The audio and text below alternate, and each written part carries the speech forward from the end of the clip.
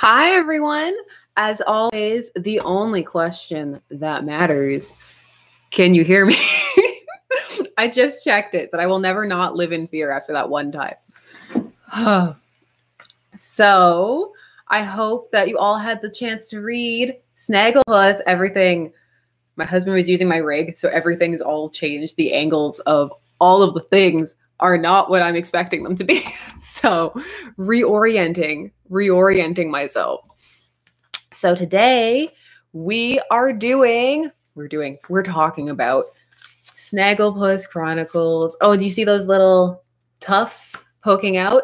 I was midway through rereading it and taking notes because I actually have notes for this because I wanted to be a bit more organized this time and there were some points that I really wanted to hit. So I took notes, but also there was just some lines that I really liked that if we have time I'll get to, but I didn't have post-its.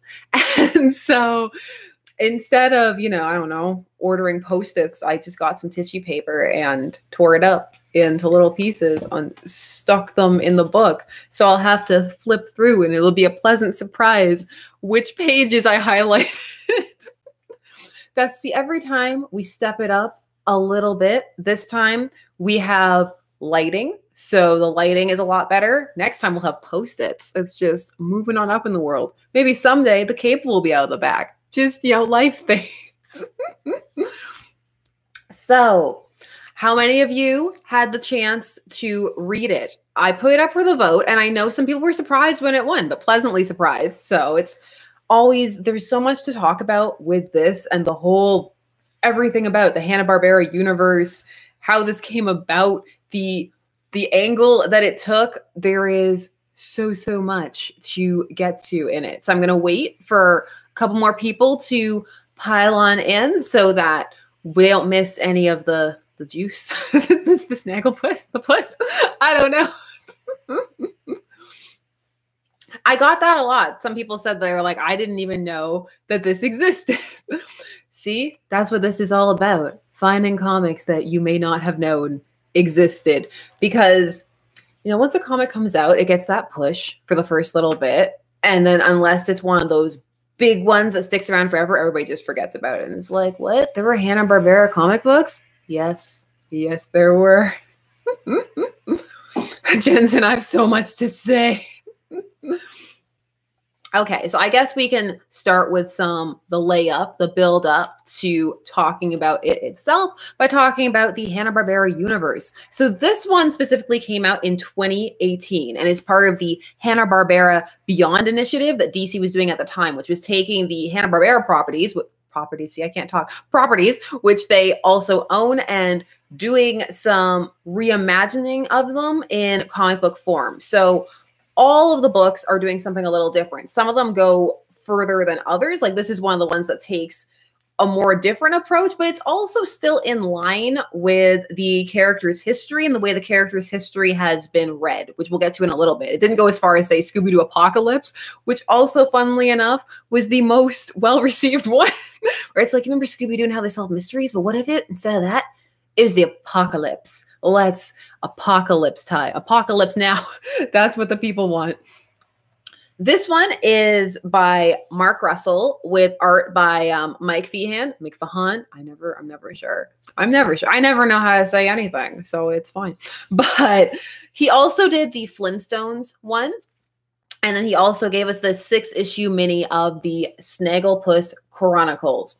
So, base, let's do a brief plot overview because this is one of those comics where if you describe it to people, it sounds like not a lot happened. It, you can describe it in a couple of sentences because a lot of what occurs in it and what makes it so interesting is the character work and the themes that it is working through. And it is working through a lot of things. There are a lot of different things going on from the the closeted culture to acting and like theater versus film, stars versus actors. There's just so many things. This is one of those ones that it's better upon reread. Like I thought I liked it. The spoiler alert, I liked it.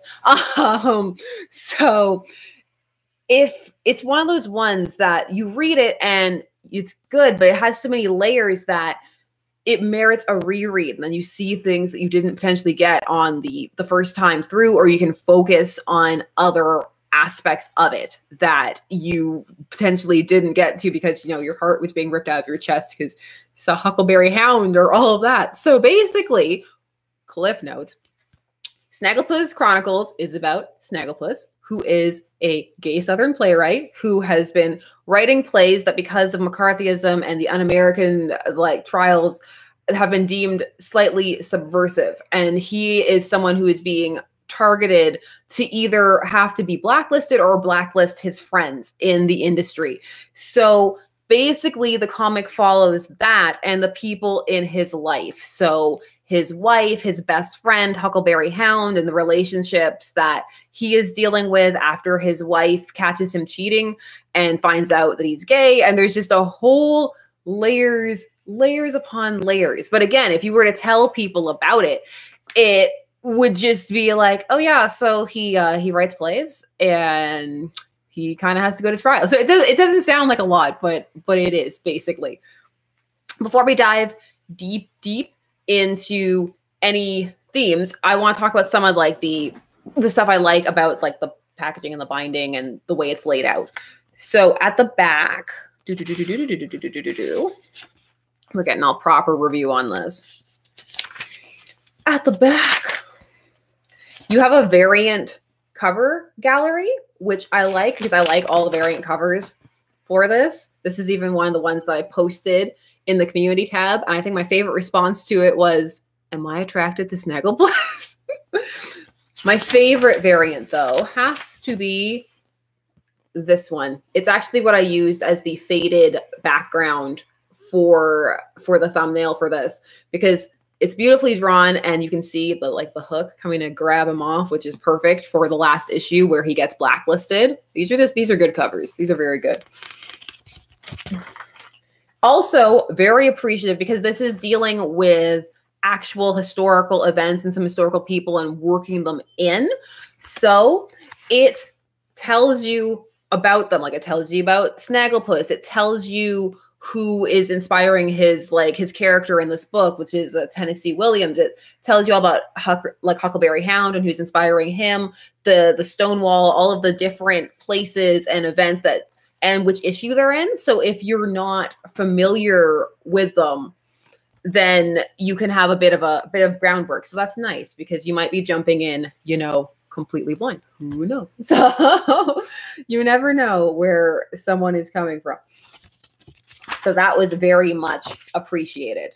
Yes, I think we're ready. Are we ready to talk about? Well, also, here's the thing. One of the things I hear a lot about this is why? Why? Why take this angle? Why would you do this, do Snagglepuss? Well, here's the thing. Firstly, for a reimagining of these characters, Snagglepuss's cartoon was pretty simple. It, you know, he wanted to make his cavern look nice and have nice things. So he was always trying to get schemes and do stuff that would do that and they never worked out he was always unsuccessfully hitting on lila and sometimes that hunter major minor was was hunting him down so it wasn't exactly a, a ripe field for doing something with so i thought that it was very very clever to take the long held assumption read that the character was coded as gay, which has been going on for a long, long time. It is not a new concept. In fact, when you see parodies of Snagglepuss, that is often the angle that they take. There was even one as recently in 2008, that an SNL skit about it, and it's happened drawn together, Robot Chicken. So this is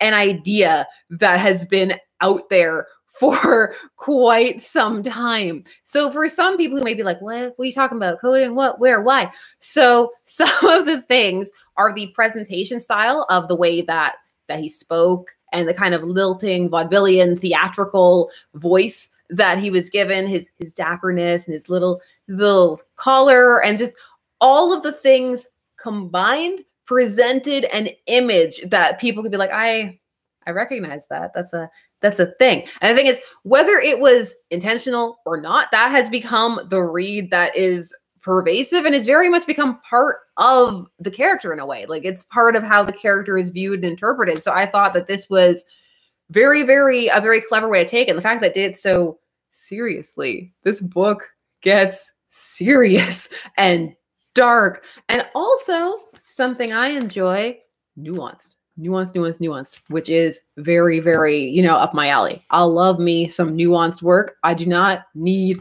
a smack to the face. Get enough of those already. All right, enough of those in the comments already. So we start off with the first time that he faces the hearing. And what you get out of this is that he's very quick-witted, very clever, has an answer for everything. They can't they can't pin him down to anything. He's just, you know, too smooth and cool for school, basically. And you see also in this opening what's very important how he's developed his outlook on art and the theater, which is he was working behind the scenes at this not that great show and a fire breaks out and so he runs on stage to try and tell the people oh my god the building it's on fire but everybody just laughs and nobody believes him and they think that it's just part of the show.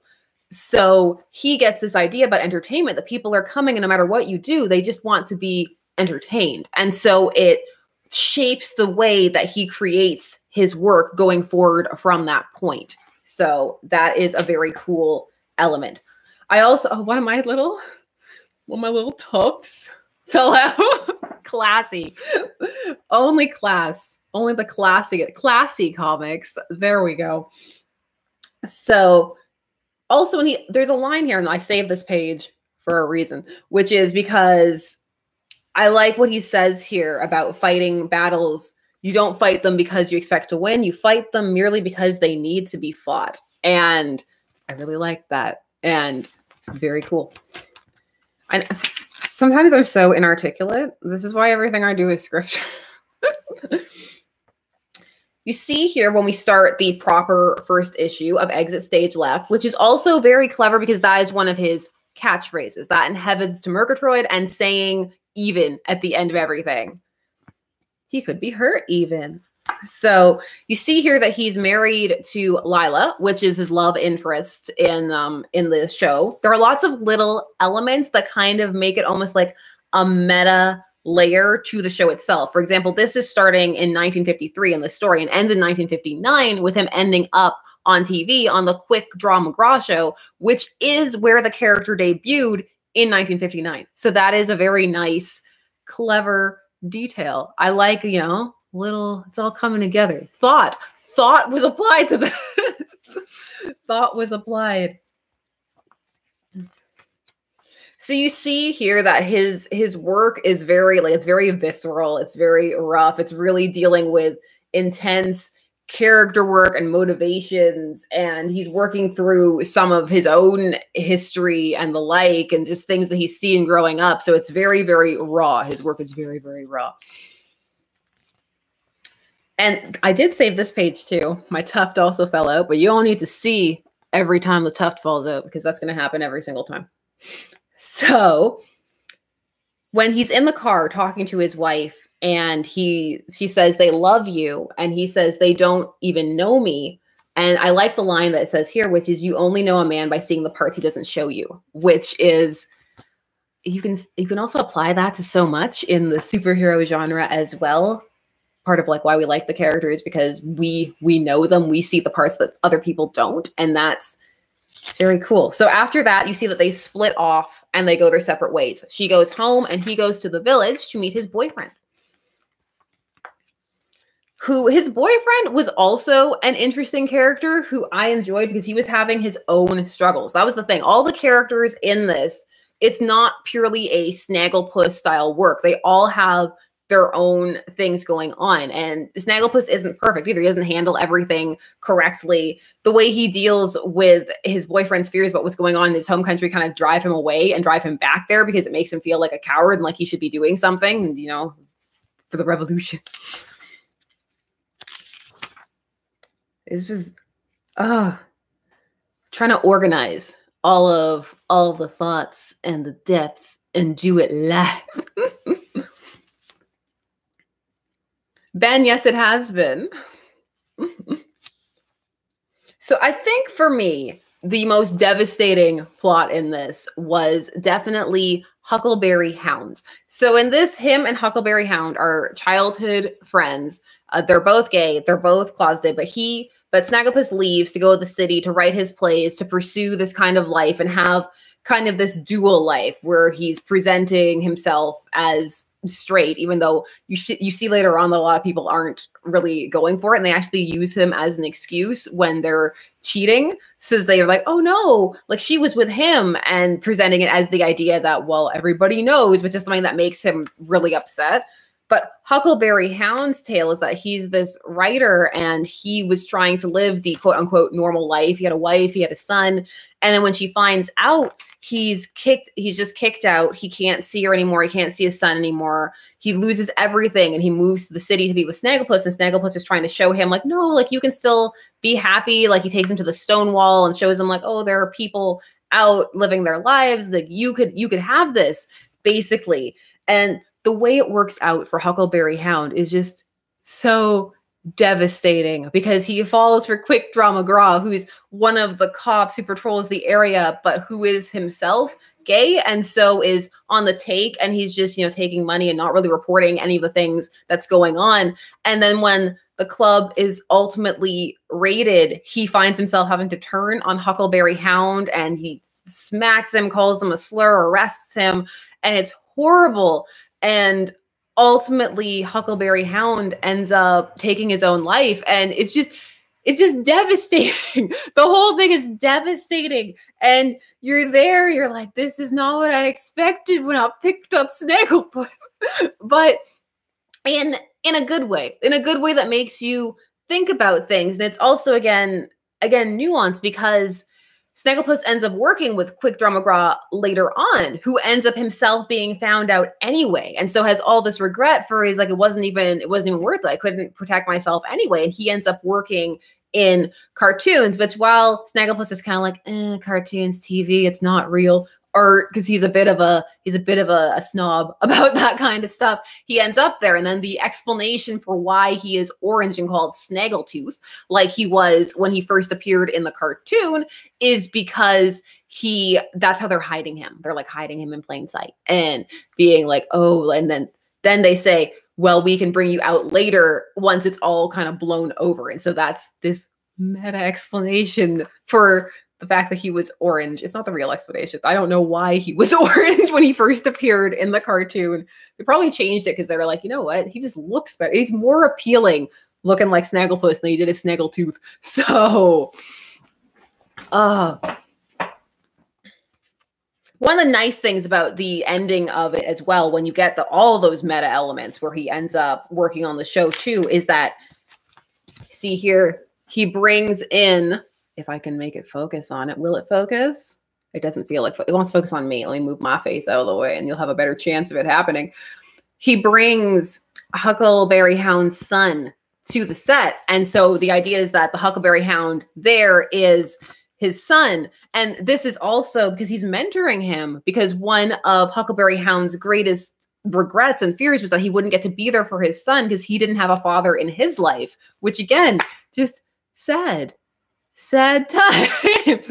Everything about this was a lot of a lot. So,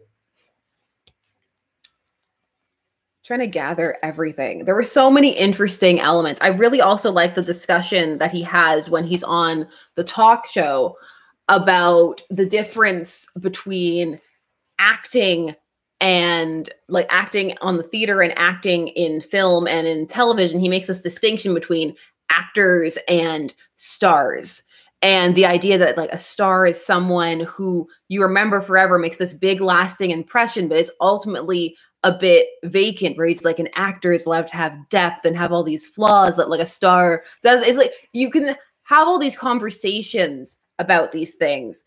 But there, there was one exchange when he's talking about it and i really enjoyed it and they used marilyn monroe as the focal point for it because Marilyn Monroe is in this and her relationship with Joe DiMaggio and Arthur Miller, the playwright, which is admittedly one of the things I'm not sure came off uh, as well as some of the other elements in it, but it was still very interesting. But yeah, here it is. Here's that line.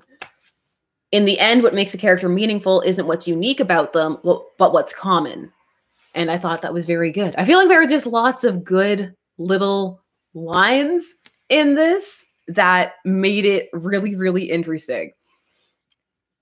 Also, the fact that like Snagglepuss is going to to visit his dad, who who doesn't remember him, and you don't realize that's what's going on until the very end. And ugh, why you gotta hurt me like this? Mm. Let's see.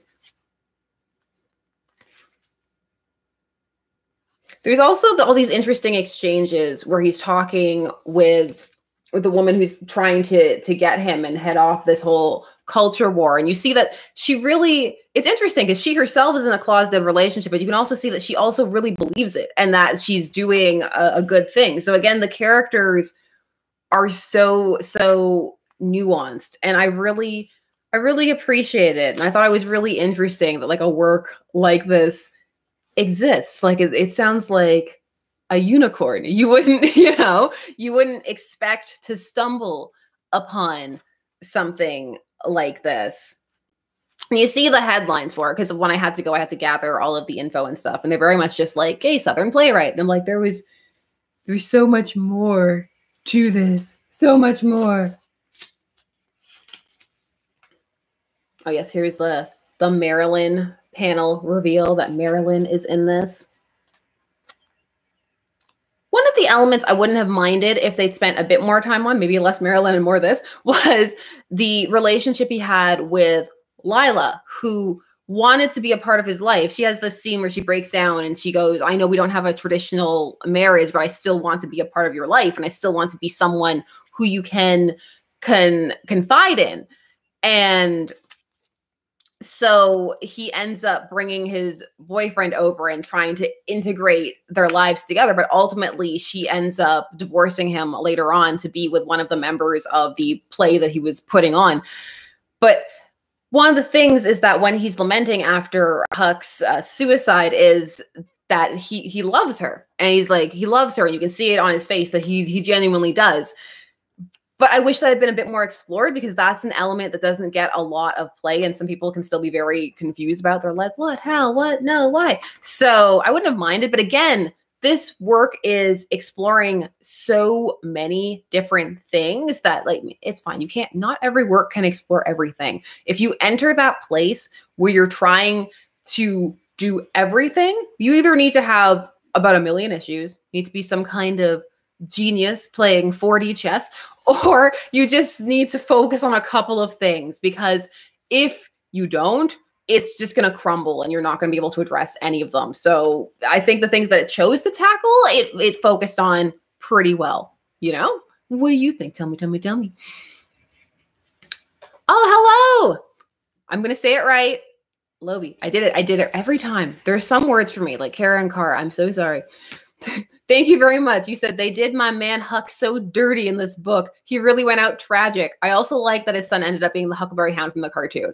I did too. I thought that that was very sweet because I was not prepared for the the level of level of angst that you were going that you were going to experience. That was also interesting the contrast between between Huck and Snagglepuss and the ways that they were coping, the ways that they had found to to deal with it. Look how sad he is here. Just look at him. Sad Snagglepuss. Just the saddest. There we go. Oh, this is a good variant too. Look at that one. This is a good cover too. I think this is the main one. I got this all collected as one, so you know, you know me and floppies. They're just gonna rip right in half. It is not going to happen.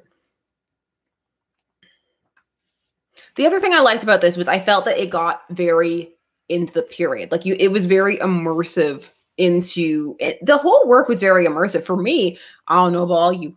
I I read it the first time I read it was on one go. I, I sat down. I was like, oh, I'll read an issue tonight. The next next thing, just done done and ripping pieces of tissue paper to, to shreds to stick into the book so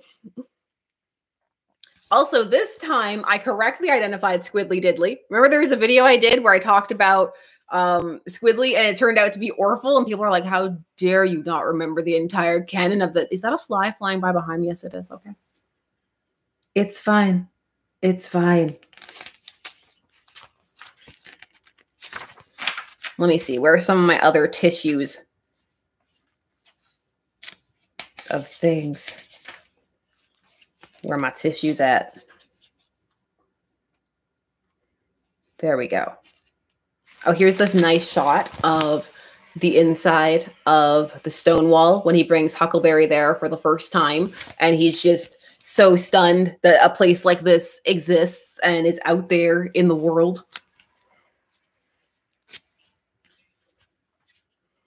It also really gets into that Cold War element very well, which for some, the like for some in the more modern era, it's hard to get behind that mentality of like what a big like what a big thing this was constant.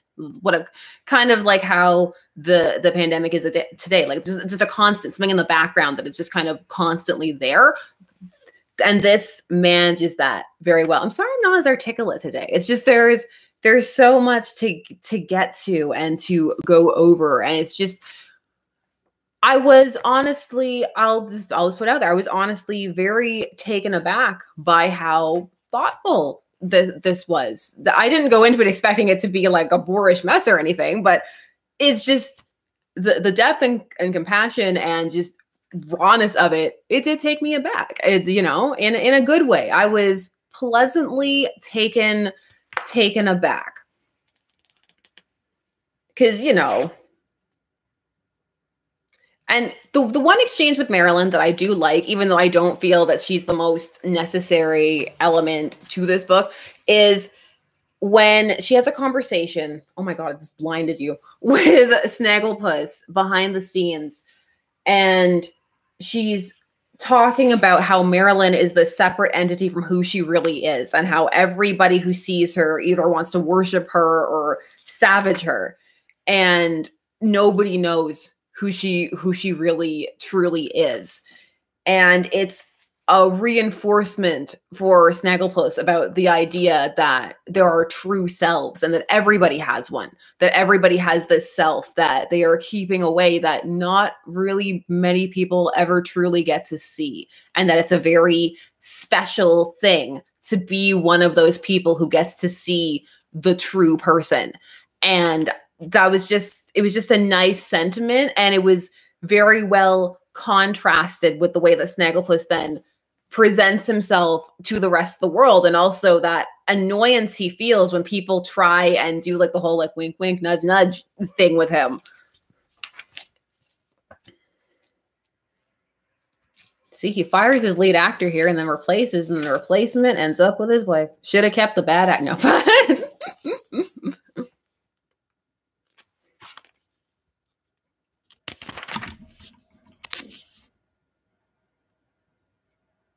yeah, here's all the the ooh. Yeah, what was this part? This part was yeah, the Russell's paradox. I really I really enjoyed as well. Yeah, this was this was let me see if I can condense it for you. Let me attempt to con to oh yeah, Booster Gold and the Flintstones. Let me attempt to attempt to condense. I can make it happen. I can do it. I can remember and do it all live live on camera. There we go. I will read it to you. The Russell Paradox. All right. You ready for the Russell Paradox? This is the reading and reading live, dramatic live reading. You have a town full of shaved men. By rule, the whole town is divided into two sets men who shave themselves and men who get shaved by the town barber. If but then, which set does the barber belong to? If he shaves himself, he is also getting shaved by the barber. If he goes to the town barber, then he's also shaving himself. He exists in both sets and neither set at the same time. He is the Schrodinger's cat of men getting shaved. So I always enjoy when things like that are are thrown in. I thought this whole Hanna-Barbera initiative was interesting. I have no idea how how well it sold or anything. It's one of those things where it's easy to say, like, I'd love to see more of this, but I have no idea how many people bought it or if it did well or if it played well. But I will still say I would like more of this, but I do not know what the wide stream appeal was of this in the slightest. not at all.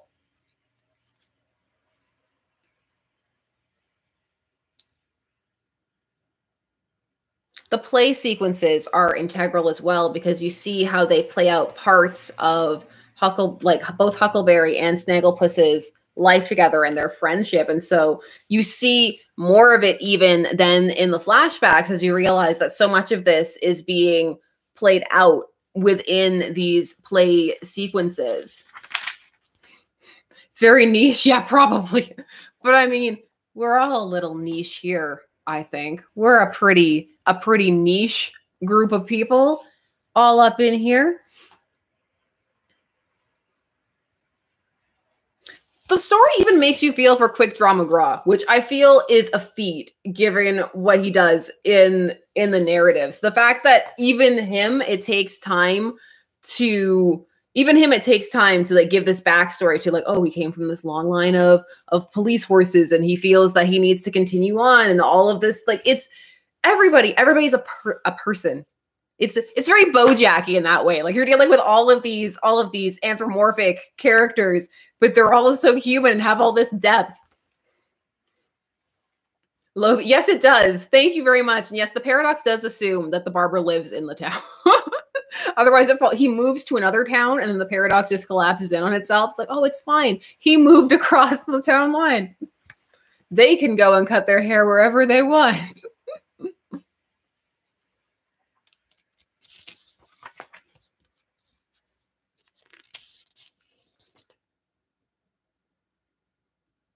Oh yeah, this exchange here too. I like this exchange, this argument that he has with with his boyfriend Snagglepuss. That is because I enjoy that it shows that the relationship isn't perfect, and it's not only not perfect because of the external societal pressures. That's part of it, but it's not the only reason. And again, I I like that. I like the the layers here. I like the idea here that he feels that Snagglepuss wants all of these things to be separate, that he likes having two separate lives, which is a very interesting aspect to it to explore as well. This worked. This was this was cool. I like the other thing too is that while you get more out of it if you are more familiar with some of the, the events and the people going on in this time period, it's not fully necessary. And it can also act as think as a bit of a, a catalyst to potentially want to go and explore some of the real world elements of this uh, a bit more if it's something that you find to be interesting.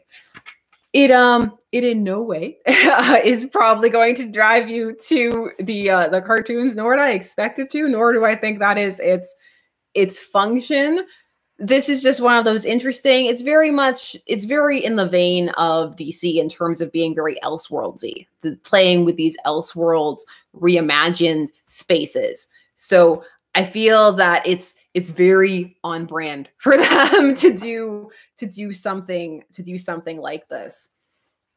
I think russell really excels here with this this playground to to work with because with snagglepuss again because his cartoon was so very very basic you have that room of okay what am i going to do here? kind of thing. Mr another thank you very much. Sorry i'm late. I love your videos and your channel. Don't worry about being late because i will leave this up for all of the rambling incoherent mess that it is. But if it had been a video that was scripted it would be about four hours long so there is that. It's hard to condense things for uh for the videos to make sure that you know they don't go on for your in entire life. The Russia America bits are are handled well too. It doesn't go for your complete cartoonish, you know, Russia bad. I'm trying to learn how to do a Russian accent, by the way, like do like dialects and stuff like that. I mean, I don't do any of them great, but still, still, I will one day for you, for me. It's really for me. Mechasaurus, thank you very much. Gritty, edgy Snagglepuss reboot went. You see, they turn it into a series that just gets all all meta. The series that apparently leads into the original series. that would. How's the paper quality? Oh, how's the paper quality?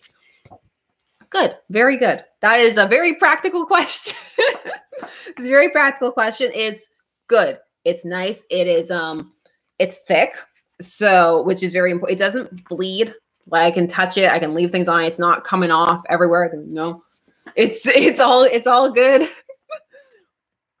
no, the quality is is very excellent. If you keep it keep it safe, keep it away, keep it away from people. It was when I got it, admittedly, because I um I ordered my copy a, a while ago, obviously, because we gotta order all the things. It was sticky. I assume it was in a store and there was a sticker on the front, and the person just pulled it off. And but so it was it was sticky. So be mindful that because it's so glossy it's very easy to get sticky. So you're gonna want some clean hands i mean you should always have clean hands but you'll want some clean hands before handling before handling this one. There we go. So i think i've blathered on for a little bit what were your favorite parts. What were your favorite parts of this book? Because I feel like it can speak to so many people in so many different ways. And there were so many different things that can be pulled from it because it's very much one of those things where you're you're supposed to think like it's supposed to leave you with lots of of thoughts and ponderance and it's that kind of and I really appreciate works like that works that leave you to like just kind of sit in your own sit in your own feelings and mindset and see how you you know how you connected with and how you feel about it. Let's see. Let's see. I love you're all this like yeah sticky magazine. Oh yeah no sticky is you know not nice to be sticky unless it's what you're going for which is true I did see a comment so scroll past while I was uh, blathering on. What um about about one of you felt that Marilyn was quite integral. So I want to tell me why. Tell me why. Share with the why. Tell me because I like to know things. Tell me why.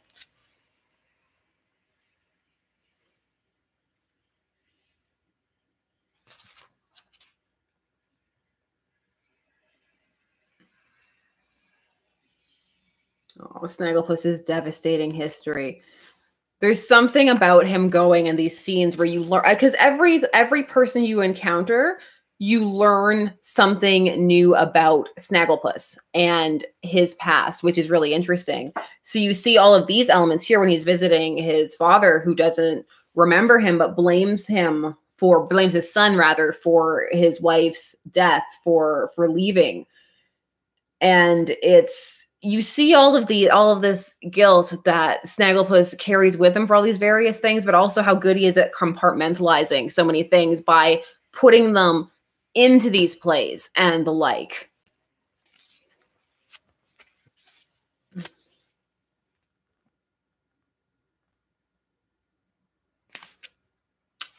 Okay, I can I can see that, McReese. Yeah, I, I can I can see it again for me. Like it what, but again, that's what I mean. But we all have different parts that spoke to us more. Because for me, I was like, I see it and I get it, but it just wasn't the thing that was the most the most compelling for for me, at least personally.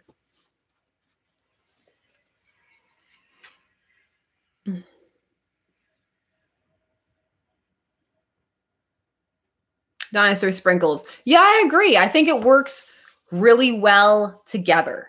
Like the, the whole thing, the whole thing comes together. Sometimes with a work, it's like what they say about editing, which is something I firmly believe as an editor myself. A good editor is never seen. like it's it's something that people might remark on and stuff, but if it's so if it's so good and it all works, people can't even properly articulate like what it what it was you know but it's like when it doesn't work it's really easy to be like that didn't work and that didn't work and i hated that and i hated this so that's why sometimes it can be so difficult to talk about something that you enjoy without seriously sitting down and trying to you know because sometimes if something you, you just you have to fight that urge to be like, oh, it just works. It works because it works, you know?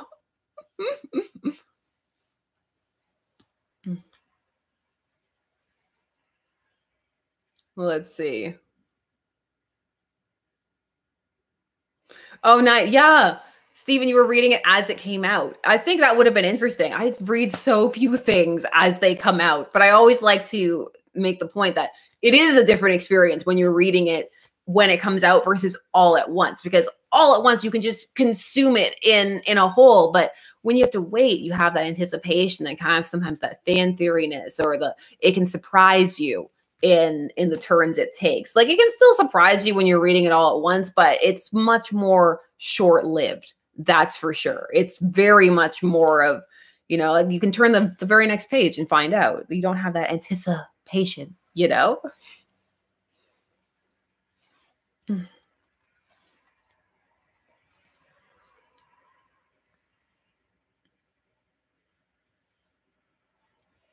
And again, I like works that elicit a tactful discussion. I mean, not every, you know, people are going to discuss things how they want to discuss them, but it the way that it's presented encourages that kind of, you know, thoughtful type of discussion, which is something that I very much uh, appreciate.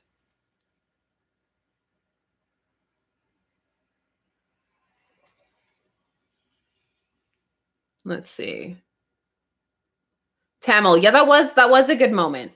The moment when it's, you know, I'm not sure if this is the one you're speaking about specifically, but the moment at the end when it's revealed at the the trial here. Yeah, I think I have it right. Yeah, I have that moment right here where they're there and they're trying to get him to come down on Huckleberry Hound and he says there's no point because he's dead and you do see all this regret on her face of like that's that's not what she wanted like this, that's not what she wanted at all.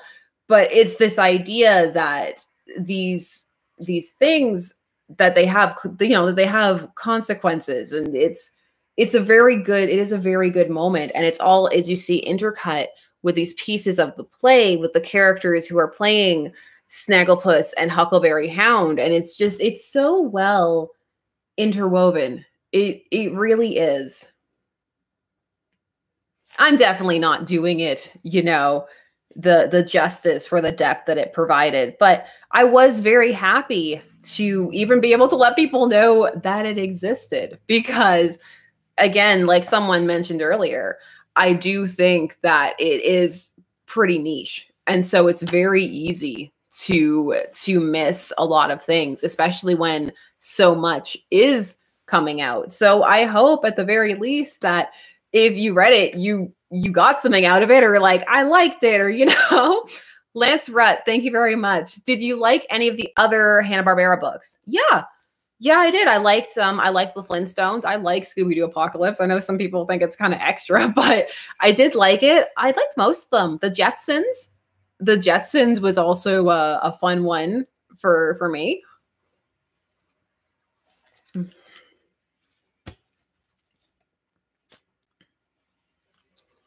Yes, catching up.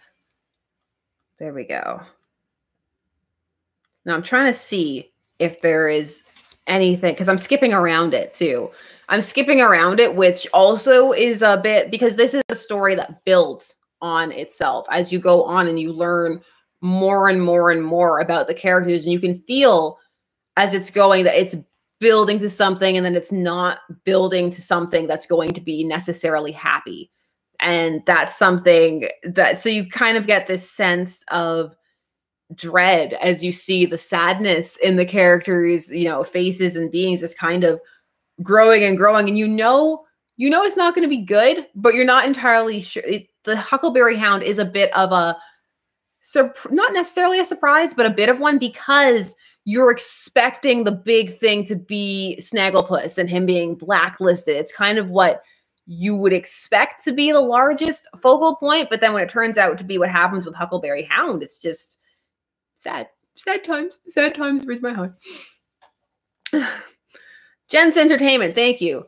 The Origins, Mark's a friend, met at a con, my booth. I draw an indie comic, Lunaria, was next to him. Mike Feehan rhymes with Lan. Drew my tat of S. Oh, you have a you have a tattoo of Snagglepuss? That's really cool.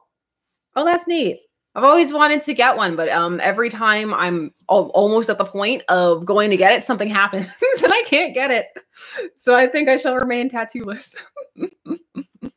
I'll probably be tattooless because it never it never lines up. It never lines up with the timing. Mm. Let's see. I'm lo- I'm looking at see part of it is I'm looking at all of you like talking to each other and like yes this is what I wanted.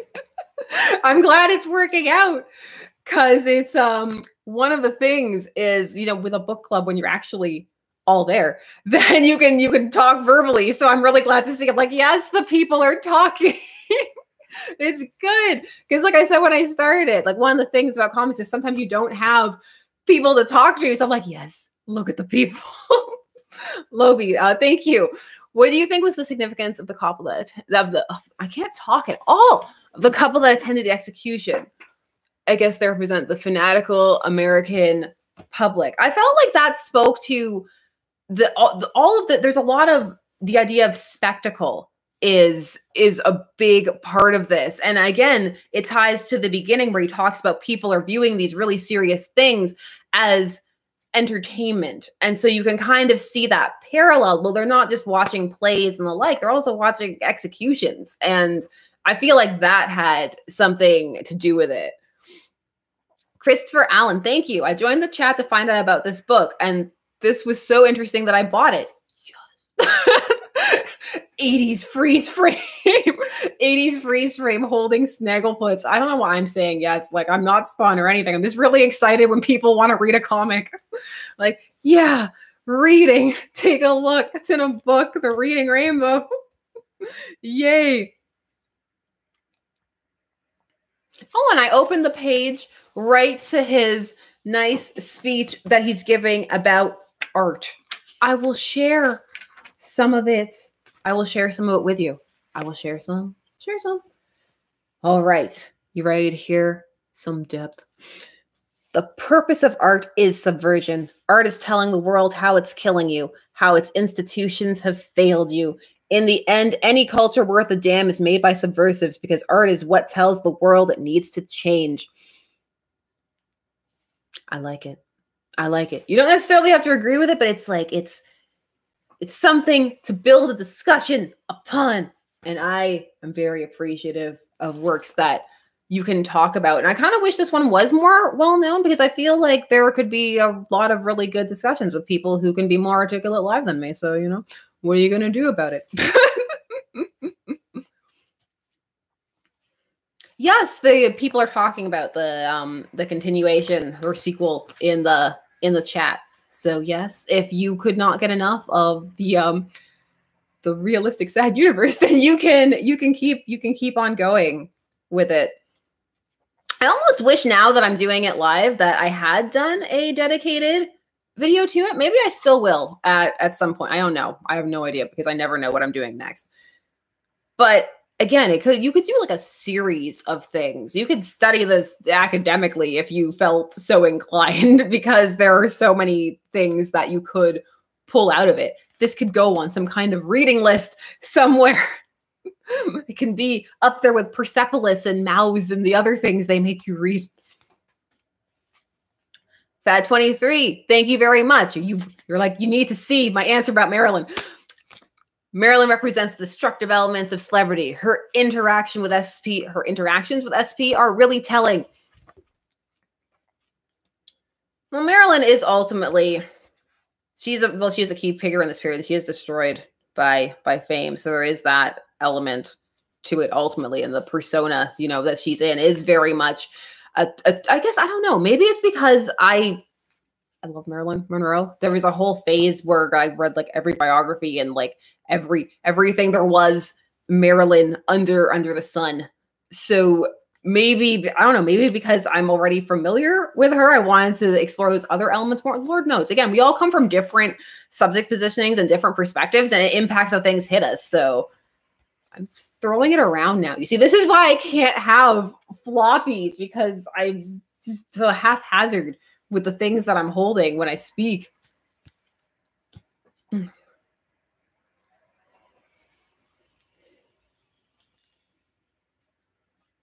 Let's see. Hey, Stark Roads. Yeah.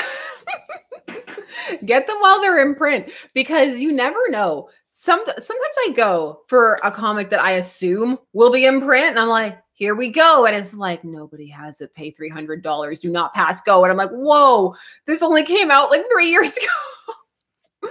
so I'm glad that this one is is still around and still able to be to be picked up and the like.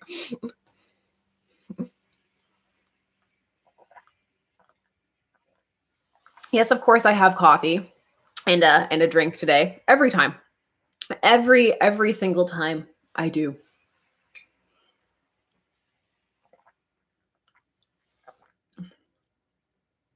Let's see. Catching up, catching up, catching up with the chat. Oh, I remember last time I told you that there would be Streamlabs. There kind of is. I set it up a little bit, but I want to test it. I need to do a tester. I can never just I'm not one of those people who can just go live without having seen the setup first. Like I'm terrified. Like maybe it looks good to me and looks terrible to everybody else. I don't know. I can't live in that world. I can't live like that. Cannot live like that. I'm too concise. I'm like, yes, I feel like we have vaguely touched upon all the things that I look. I'm like 51 minutes. You could talk about this book for hours. Why am I this person? Why am I like this?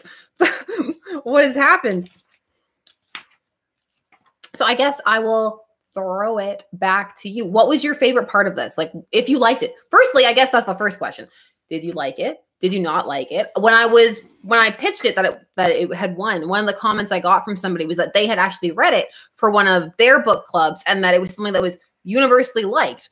And that was nice to hear, but I was also surprised. So I wanted to know, like, do what what do you what do you think? Like, did you like it? Did you not like it? And if you did like it, what was your favorite part? What was your least favorite part? Tell me, tell me. I wish I could have those pop-ups and I could put my Loki tell me pop up, which is always what I'm thinking of when I say that. I'm like, tell me.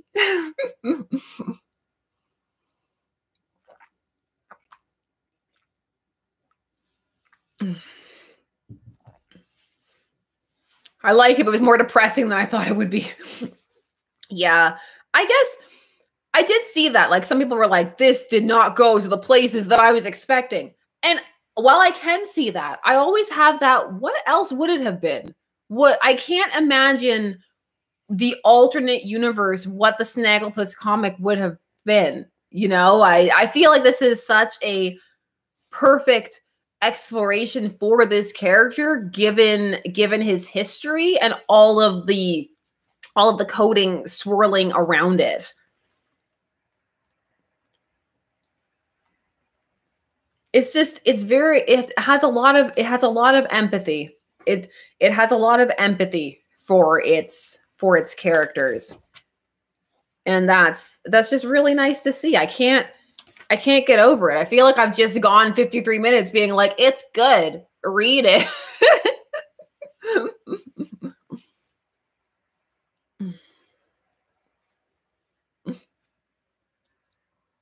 Let's see.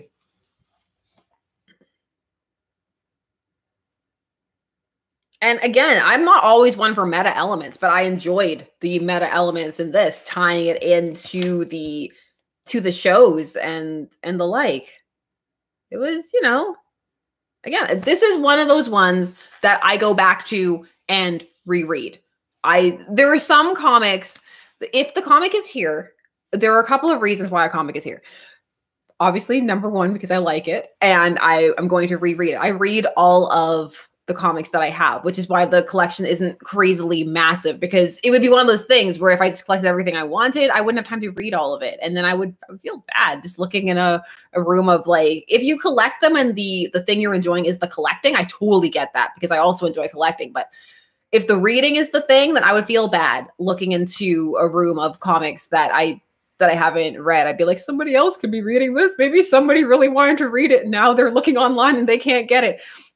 So that's one of the reasons I have them because I'm going to reread them. And this is definitely one. And also, it's an accessible reread because it's not the longest. So it is the kind of thing. And also because of all the layers to it where you could reread it in very quick succession and then get even different things out of it, even reading it from one day to the next, depending upon your mindset or where you want to focus on. So I really enjoyed that set, like element of it. Also, back there are some books that I do not like, but I hold on to just to see what's if my opinion changes. And lots of most of the times it doesn't, but there's been some rare instances where it has, and actually happened very recently with one of them, where I read it again. I was like, I don't hate this anymore.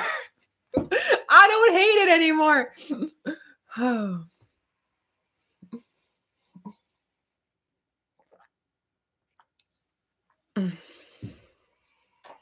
I agreed. Like I like that I do that it is impressive how much it gets in here. Like this is six issues, but it feels dense in the best of ways. And again, like I was saying earlier, nearer to the start of this, part of what makes that so impressive is the fact that when you give the synopsis to people, it doesn't sound like the kind of thing where a lot of stuff would be happening. It sounds like it could be a very shallow slice of life, but it's not.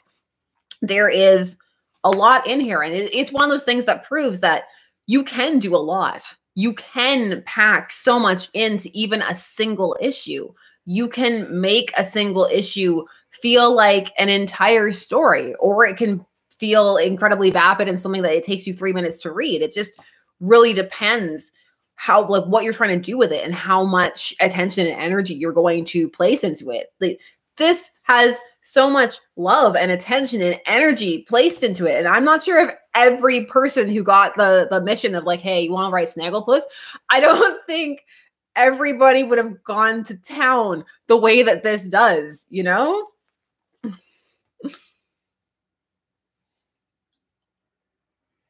Have you changed your mind on Mr. Fantastic? It's not about Reed. Not everything's about Reed. Which one? I'm nosy. Oh, dinosaur. It was the um Return of Bruce Wayne. Return of Bruce Wayne knows what it did. I still don't love it, but I don't hate it anymore. So it knows what it did.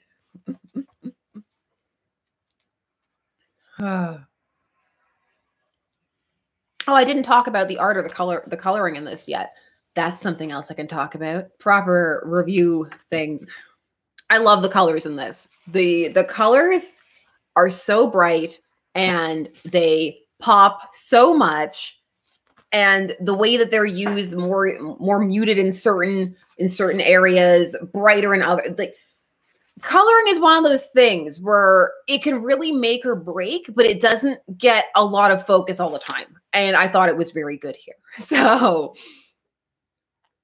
william francis colette welcome to the fanboy stud level. Welcome. You are a fanboy stud for those who are newer here, that's a thing from way back when this channel started, and it has to do with the fan who sent in the idea for the black uh, Spider-Man costume. And what one of the things he wanted was to have had some credit and potentially be called a fanboy stud. So I thought it was a very nice, a nice thing to put for the for the level. For we are all fanboy studs here today.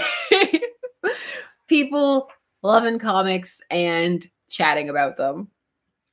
I love talking about comics. Even when I'm not as as graceful as could be. I would be more graceful if I'd scripted it. At some point, maybe.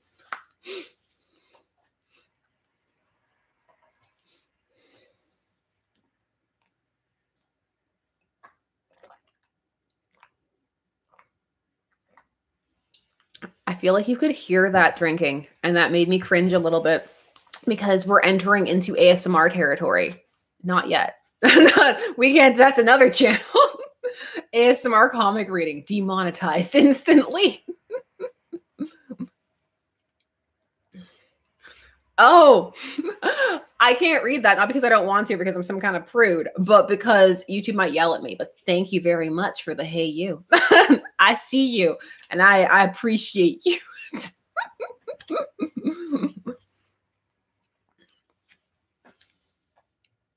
Let's see. I think Jensen said something that the origins of this were were very interesting. I'm not gonna lie, I haven't looked too much into the origins of it. I was more interested in the connections between like Snagglepuss and all of the meta elements and the like. Had I been doing a scripted video, I probably would have looked more into the origins. But mostly I was like, I need to find time to reread this. Oh my word. It's I announced this over a month ago. Over over a month ago. And then I only found time to reread it this week. Everything happened. I'm sure everybody can relate to that in some capacity but this everything happened. Like the whole world was like oh so you would like to sit down and read something? And then just everything ah. It was so i was so happy. It was getting down to the wire and i was like oh my god i need to reread it and take notes. Because i will not be that person who goes in and hasn't read it just no Mechasaurus, thank you very much. Do you have a schedule for live streams? No, I um I post okay, community tab. Community tab is where I post updates for all the things that I am doing. And I just I pick a day and then you know say a prayer like please let this day work out. I put it like long in advance. I plan like I plan babysitting for the kids and just everything, but it was so down to the wire. I was making the thumbnail for this five minutes before I came up here to go live. Just everything. I was like, I made it. I'm so, so happy. Snagglepuss. That's the thing. I'm like, I'm so happy to talk about all of the sadness that happened in Snagglepuss. I made it. oh. Hmm. Oh, here's the nice panel of when he brings his boyfriend over and they all have dinner together. I wish it would focus. It doesn't feel like focusing tonight. It's because my hair is so pink. It's like, look at the, the, the pinkness. That's all I want to look at.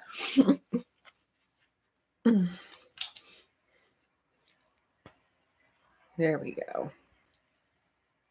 Also, in general, not just in this comic, I'm a fan of the an- anthropomorphization. Sometimes it lets you get away with things that you couldn't get away with with human characters. You can you can push things because while there's that familiarity, there's also that distance. And it allows you uh, a space to play that I've always really, really appreciated. Yeah, it's 2 p.m. where I am too. I have no idea why I said tonight. I'm all over the place. I'm very, very tired.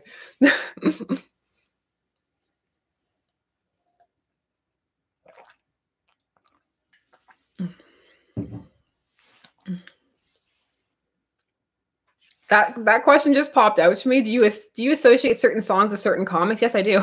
I do all the time. All certain songs with certain characters, certain comics, all the time. Which is why I don't need your lyrics in my comic, Tom King. I already got my own. I've already got my own. Mm.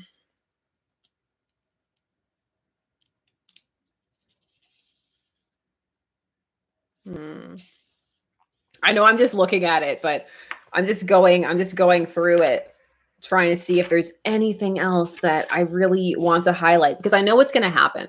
I'm going to pop off the stream once it's once it's done and then everything's going to flood back into the brain it's just like when somebody i don't know if this happens to any of you but it's like if somebody asks me oh like what's your favorite comic what's your favorite movie what's your favorite what's your favorite anything i instantly forget everything in existence. I'm like, movies exist? What are they? Comics? I I read the just everything just blanks instantly out of my head. It's just I don't know. It's like too much pressure to name a favorite thing. I'm like, that's too much. I I can't.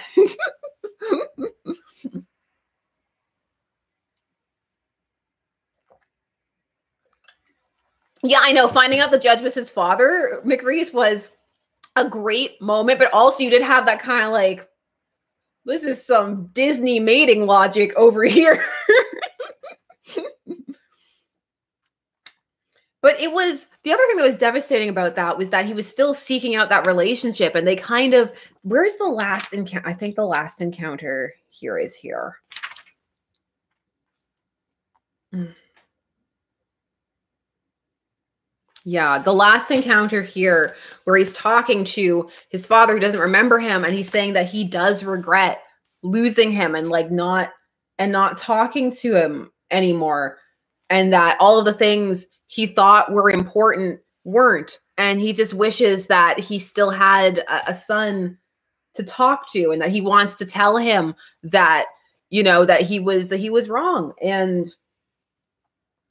you know, but now they can't. Now they're in this position where it's just not possible. And it's just ah, the heart. The heart. Isaac Koff, thank you very much. What did you think of Teen Titans Academy? I've not read it yet because I was doing things like rereading every issue of Batgirl. you know, Infinite Frontier, and I, I was and am Loki excited. And like all these new comics are coming out. I'm like, but what about also rereading all these comics from 2009 and also Hanna Barbera Beyond? this is why I'll never be up there with the big boys. Actually, I will. That's not say I'll get there. We're gonna get there. We're gonna get there doing our own thing. We don't need to follow no trends except when we feel like it.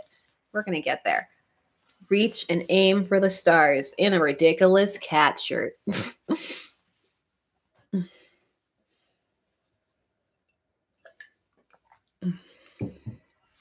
Let's see. This book seems too smart me. Oh, don't say that.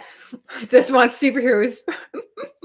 oh, I'm glad. No, the Batgirl video was a lot of fun. I enjoyed doing the Batgirl video it was what am I working on now? I'm actually working on it, so I can say it because it's mid it's midway through, so it's gonna happen. Um, is as, as she just blanks entirely. Bleh. This is what happens when you have four hours of sleep. Um, the Peacemaker.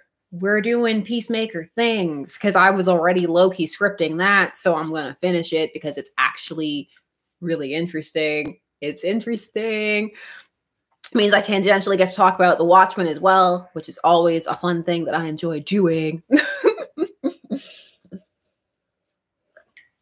so that one's fun. It was one of those ones that I thought was going to be shorter, but it looks like it's going to be longer in a in a good way. I do like I do like doing the longer form ones. They just take they just take so much time. So and then YouTube updated their tax things for uh, foreign YouTubers, and so I have to like get on that. And I was like, I, I can do it. And then they're like, you have to send it via snail mail post. We don't have. And I was like, oh my God, I have to use the postal system? No. so that was a whole other stress. And then it was like, we don't care if any of your stuff expired because of COVID and you couldn't go. We don't care. It needs to be up to date. And I was like, oh my God. So I have to do some bureaucratic red tape ninja-ness to send in this form. Third person infamous. Thank you very much. Redundant. Thank you very much. I can't wait to watch your Stephanie Brown back row video. She's one of my favorites. I I love Steph. And I didn't even get to talk about her slapping Batman. Maybe I'll do that if I do a video on like her dying and coming back to life at some point. At some point. Now, taxes are never fun. It's also just regular tax time. So it's like adulting, regular taxes, plus filling in this form and sending it snail mail to I think like Arizona. And I'm like, oh my god. oh, like I'm not gonna be a priority. Like, here, take this letter from Canada and get it. get it there. I feel like I'm sending it by horse or like carrier pigeon. You're like, here, put it on horseback and ride it across the border. I just I couldn't believe that there wasn't an online option. I was like, there's no, I can't I can't just submit this info. Why? Why is there no online option? Spencer Welch. A good anthropomorphic series is Reed Waller's Omaha the Cat Dancer, an adult series, and he has a new series coming out soon. Thank you very much for the rec. I will check that out. Omaha.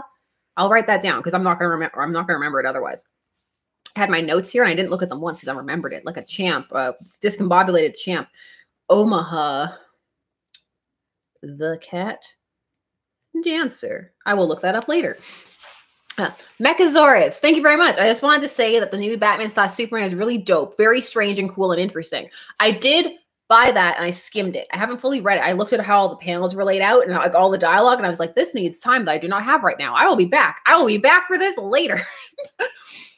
Anthony Broderick, thank you very much. Sasha, you comic genius. I hope I can meet you at Comic Con one day so you can sign my physical copy of Snagglepuss along with a Lois marriage comic. Well, thank you very much, but I think you should get Mark Russell to, to sign your copy of Snagglepuss. I I should not be signing, and I should a blank piece of paper. so it can be a conversation piece. There's like a why you have a blank piece of paper with someone's name on it? Cause reasons. I don't even know if Comic Cons are gonna come back the way they the way they were, or what capacity that's gonna look like in the future. I can't I can't talk to people at cons, even people I want to. You have no idea what like a cringe human I am in face to face encounters. oh. Horse would be faster than the US Postal Service. Same with the Canadian Postal Service. So imagine them combined. Combine some horrible Franken, like a snail, a snail carrying your letter. So what's going to happen is because I have no problem complying with changes that people, you know, make. Like, you know, we have um we have a tax treaty with uh with the states. So it's gonna cancel it, itself out at the end of the day. But I need to fill out the forms to like prove that we have the treaty and everything. It's fine. I just wish that YouTube had given a bit more notice because of how long it takes to get the form processed. So that means that in the interim, before it's processed, all the maximum amount of taxes will be taken out rather than the amount that should be. And I don't know if you're going to get it back or not. It's just a whole bunch of like bureaucratic, not fun behind the scenes. Like people say, like YouTube's not a real job. I'm like lies and slander, lies and slander. Anything where you have to like fill out like this is the W7 and this is anything where you're getting into that territory. That's a job. That is a job. you know? Oh.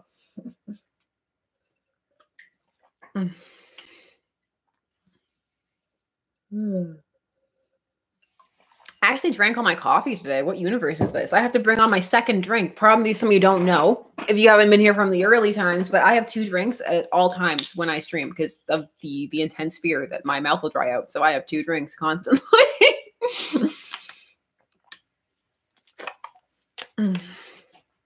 What's in the mug? Coffee. Dylan, eight if you could write a comic or movie, what would it, what would it be? I need a full storyline, plot, genre, main character. P.S. I love your videos. Bye. Thank you very much. And I I am the the unicorn of comic book creators who has not ever thought about making one. I I write like novelty type things or like ideas for them and stuff like that. But comics, comics, no, there's something that I love, but would not think to to do myself if that makes any sense. Oh yeah mcreese you've been here since bagged milk. You got my milk in a bag. Remember there was a stream where i brought the bagged milk on the stream and showed the people the bag because they didn't believe that it was bagged? I'm not doing that today because i'm way too far away from my fridge but my milk is bagged. It's in a bag. Oh I saw a comment uh, scroll past talking about like the uh, how the closet was treated in this, and I thought it was handled very well and very period uh, appropriate. And like, there's not a what I like most about this. If we take it back to Snagglepuss, which is what the stream is about, um, is that it's this could have been a very judgmental, you know, unnuanced sledgehammer to the head kind of work, and it's not. And that's something I enjoy about it. it. Gives you the space to breathe and make the judgments that you want to and feel how you want. And I appreciate works that feel that you're smart and a mature, intelligent person and feel that you are capable of coming to a conclusion, which is something that I enjoy. And this does that. So thank you very much, Mark Russell Snagglepuss. So.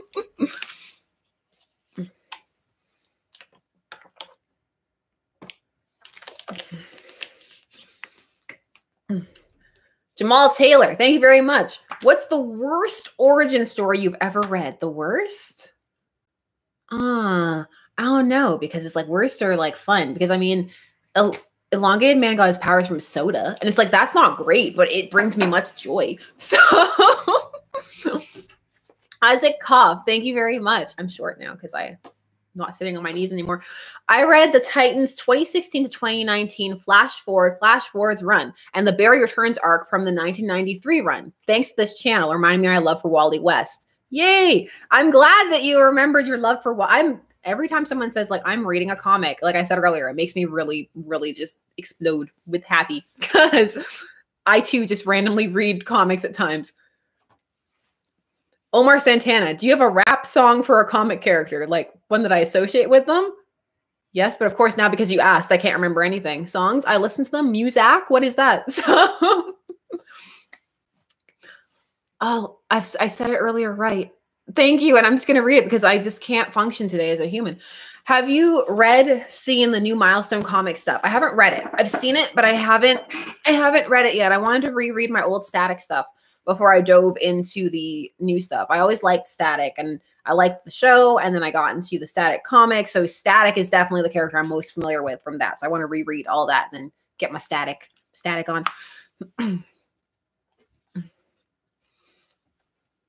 There we go.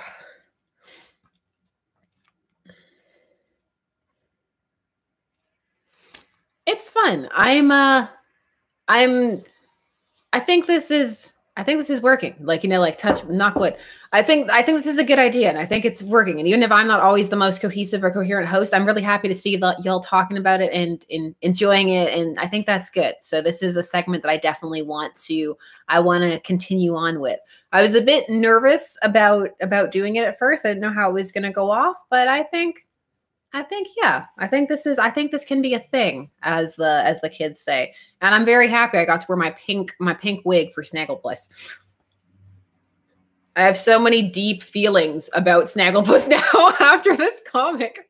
Whereas when I like when I was growing up, it was all reruns of the Hanna-Barbera stuff. And I don't remember seeing a lot of Snagglepuss. I saw some later on because they would collect them in DVD collections and the like. But for me, growing up, what they played the most was uh, the Flintstones. The Flintstones and Scooby Doo, they played those all the time. So I have really strong, firm memories of the Flintstones, especially. And I actually own all of the classic Scooby Doo because I'm that person. But so Snagglepuss was a bit more blank for me. And now I feel like deeply connected to Snagglepuss. I'm like, yes, Snagglepuss. The world needs more Snagglepuss. And it was so it was so wonderfully in tone too with how he was the personality like the the, the building blocks of the personality he was given in the cartoons because let's not pretend he was like that deep you know there hmm. no snagglepuss for a tiny bit of time had was like a came forward too because there have been multiple snagglepusses like no there's only been one snag but there's been multiple snagglepuss runs so there's been, did you know there was a Snagglepuss Kellogg's lawsuit thing? Because, you know, of course, I'm like, lawsuit, I'm here for that. So Snagglepuss was endorsing a Kellogg's cereal, but the voice that they gave him was reminiscent of um, an actor, the actor who played the Cowardly Lion. And so he came forward and was like, I don't want to be associated with this because I don't want people thinking that I support Kellogg's or I'm endorsing it. So because of that, they had to put a little credit on the commercial saying that it was the the voice actor. So he became one of like the first like openly credited voice actors like that on a commercial because of this lawsuit. It was so fascinating. Thank you, Bert Lahr. Thank you. There you go. Y'all got my back. so Oh, and thank you, Third Persons Anonymous. It's just it was just so fascinating. I just I love the idea that you have to call, but I can understand it too because it sounds kind of petty, like, oh, who cares? It's just cereal. But like, no, I get it. Like, if you didn't endorse that and people are walking up to you like, I hear that you love the cornflakes, you're like, what? No. so I get it. But it's one of those things that it sounds funny to to reiterate it to people. Spider Guy Alex, thank you very much. I have Invincible Volume 1 on the way. I've never read it before and I can't wait. I like Invincible. I don't think my, my first compendium's down there. The other ones are off. You can't see them. But my first compendium is down there. I haven't seen any of the episodes of the adaptation yet, but I'm going to. I hope that it looks like they're going to hold the reveal to their chest for a bit, which is exciting to me. And maybe they can tighten some of the stuff because I like Invincible, but it also has some serious flaws in terms of pacing and the cohesiveness of certain plots. So hopefully, maybe they, they can tighten it and improve it. A thing that I might, this is a huge might also, Daws Butler is amazing. But um, this is a huge might. Resident Alien is a comic series that I've been reading. I'm waiting for the last issue so that I can decide whether I'm going to do a You're Sleeping on it or not. There is a TV series that came out on um, sci-fi that I always want to call Sci-Fi because they changed the spelling of it and it does not look like sci-fi, but I'll play your game, Syfy Network.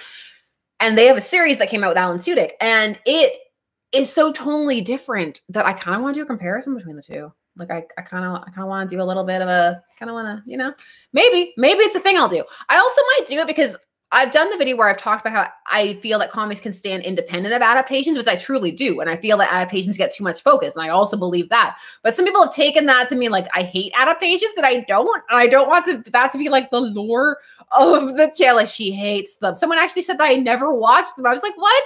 That's not true. There's a, there's a canon expand. It's like going to be like the Kellogg's. Like we have to come out and be like, no, I never said.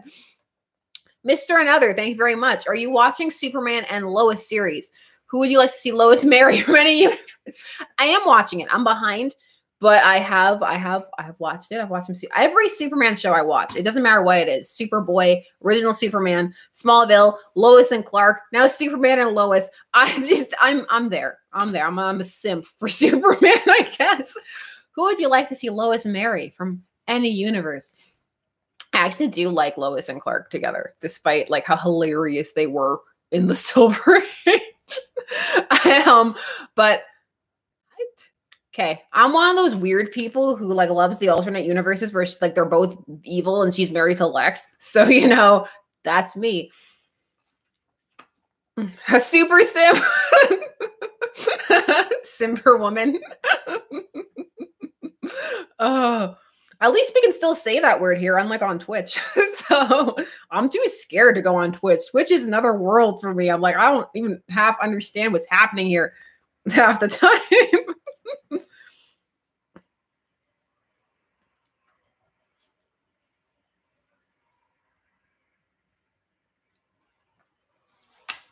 oh.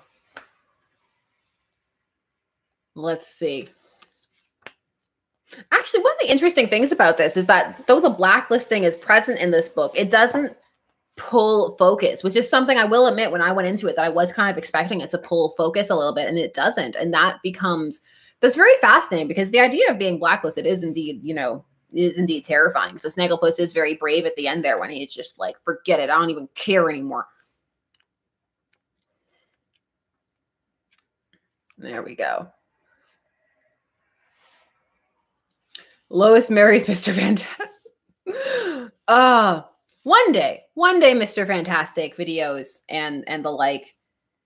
It's very much just a what do I feel like doing at the moment kind of deal on this channel. It is influenced sometimes by what's going on, but that's just because, like, hey, yeah, the Peacemaker exists and his six issue miniseries and that hilarious 80s series and the really interesting psychological background they gave him in that Lance Rhett, thank you very much. Have you read any of the Scooby Doo team ups? Yes, I have. I Scooby Doo. I love Scooby Doo. I have a childlike, wondrous enjoyment of Scooby Doo. I anything Scooby. I love Scooby Doo. I don't even care. The movies, Scoob, all. If it's an adaptation of Scooby Doo, I don't know. There's something about like friends together solving mysteries in a van down by the river with their dog, and I'm like, yeah, Scooby. And every episode is the same. And I'm still like, yeah, Scooby Doo. They're even doing that Velma series. And I'm like, Velma. I Velma is my go-to Halloween costume, by the way. It's like you need to do Halloween costume stat. I'm like, Velma. I got a Velma wig. I got a Velma sweater. Got a Velma skirt. My glasses. No matter what the year are normally Velma-esque, we're doing it. Velma. The only thing is that my husband won't go as Shaggy with me. it's so sad oh. Spider Guy Alex, thank you very much. Did you watch WandaVision? I did. Like I said, I watch all the things. I just don't talk about I just don't talk about them. But yeah, I watch all the things.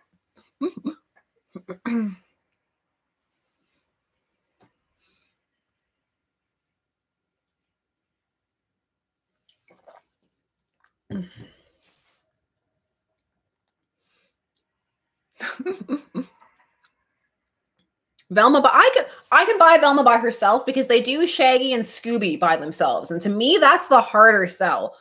So I don't know because I've watched all those Shaggy and Scoob by themselves series. I'm kind of like, mm, I feel like you need the rest the the rest of the people. there we go. Let's catch up. So I guess for the people who hadn't read it and this was uh, new to them, Snagglepuss. are you glad you read it? Like, are you glad that it's it's something that is in that you know is now in your brain that lives there? Is it something that you can see yourself reading again? Are you a person that rereads or even rewatches stuff? I know some people like one and done, but so yeah, tell me, tell me, tell me all the things I I want to know. I'm a I'm like I said, I'm a big rereader and also a, a rewatcher. I feel like the you can get such a different thing even just eh, because you're in a different place in your life you know out of a out of a work.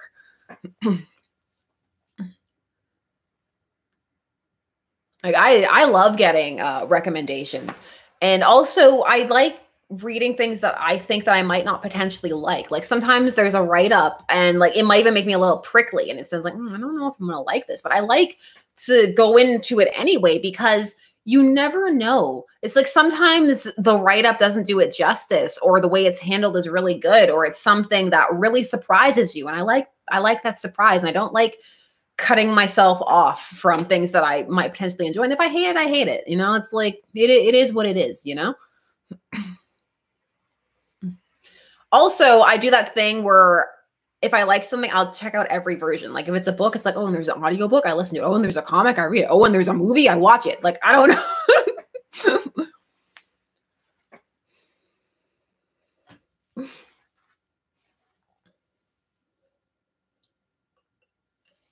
there's coffee dregs, and I can get to them. For I'm a coffee fiend. I live on coffee.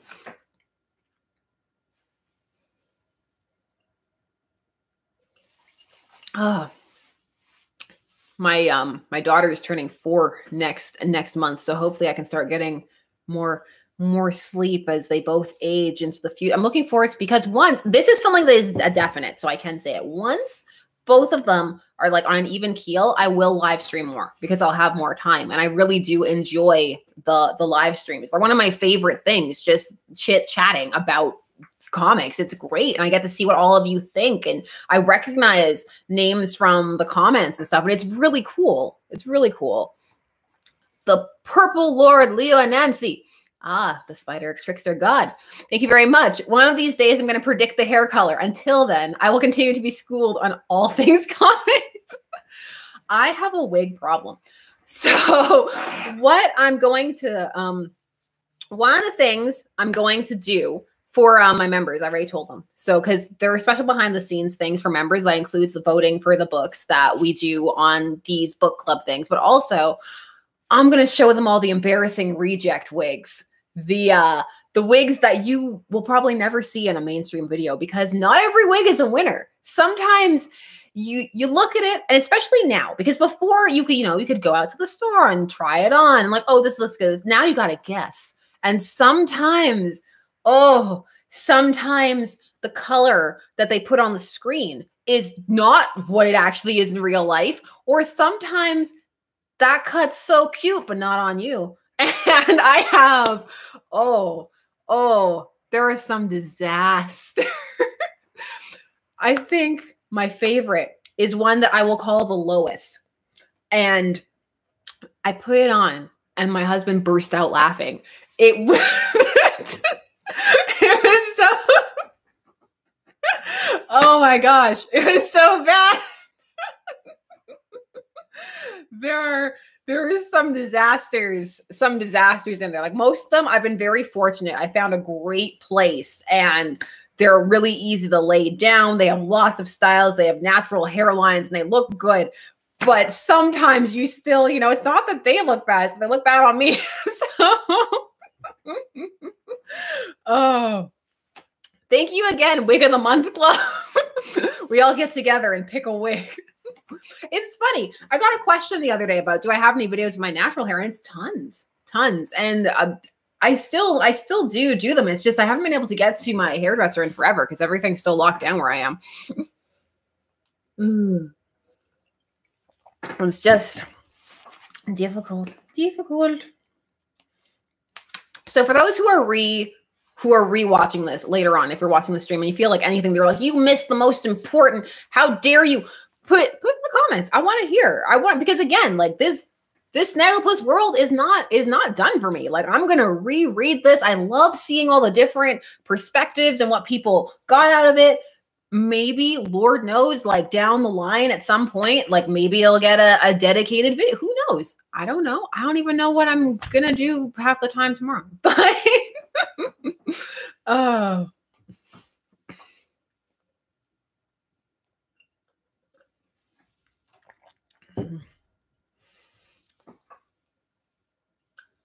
Yes, you can view the chat during rewatches. I have that enabled. You know, that's actually something you can turn off. I don't know why people turn that off. It's because there's a check mark you have to check to be like enable the live chat to be shown afterwards. And I'm like, well, the live chat is some of the most fun, so that even if you miss the stream, you can read the chat and see what people were saying. That's that's part of the that's part of the fun times. I don't know why people turn that off, and it's interesting, you know. And also because then if you miss something even yourself you can go back in the in the stream and find it at some point if you're the type of person who has time for that kind of thing oh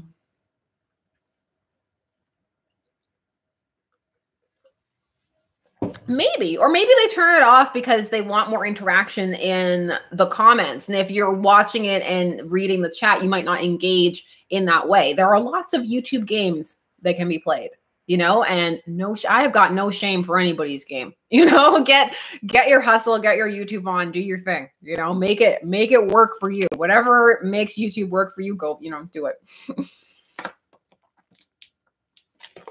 Mm.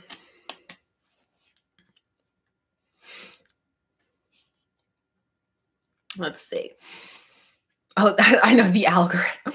The algorithm's the worst. It's like it's the best, but also the worst. And sometimes it's just broken. My favorite thing is when I open my phone, you can tell just by looking at it that it's broken. You're like, oh, today it is broken. I'm posting anyway. I don't even care. Isaac Koff, thank you very much. Have you ever thought about doing a video of Wally and Dick's friendship throughout the years?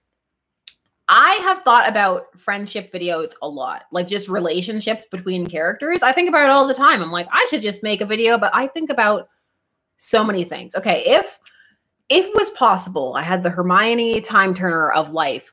I would post like three videos a day, but they would all be, you know, like the the editing and the stuff that that I do for my videos. So obviously it's not possible because I have so many ideas all the time. There is just so many things that I want. You know, there are actually videos that are in the back end that have never gone live. And now I don't know if they can because it's weird because like they're obviously so old because the set's different or like I'm pregnant or I have a bunch of scripts that I've written but never filmed. And now I look at them like, will I ever film this? I don't know. It's like there's a whole bunch of stuff that's just there because I'm just constantly everywhere with with all the things. Just so many things happening all of all of the time.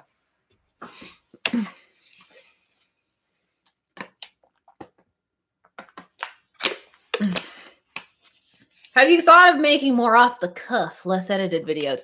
Um, yes, but I mean, as an editor, I don't know. I can't not edit things. That's a problem. there was um when I was when I was working and we had to do um some gaming footage. I remember it was um my boss was like just just export and upload it don't even watch it back and i literally was like you can't upload footage you haven't watched you can't upload footage. You, like my brain like exploded. I was like, you can't upload footage. You haven't. You, I even like the interview that I did with Alec Alexander, which was amazing and so much fun.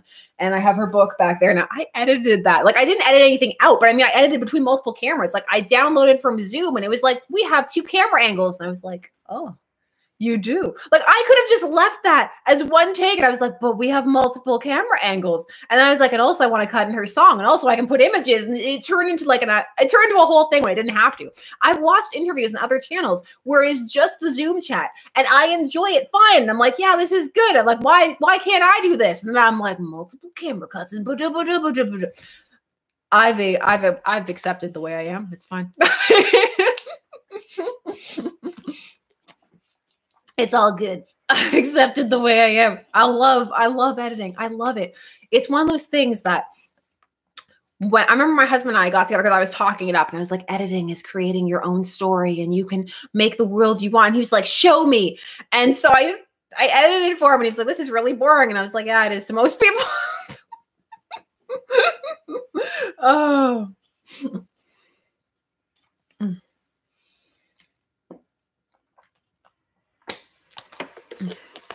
When is next Superman's girlfriend Lois Lane? I don't know, but she's not done getting married. I'm happy to say. I I saved some full on marriages. Like, we're not done with her properly getting married. Like, there are full weddings that we have yet to see.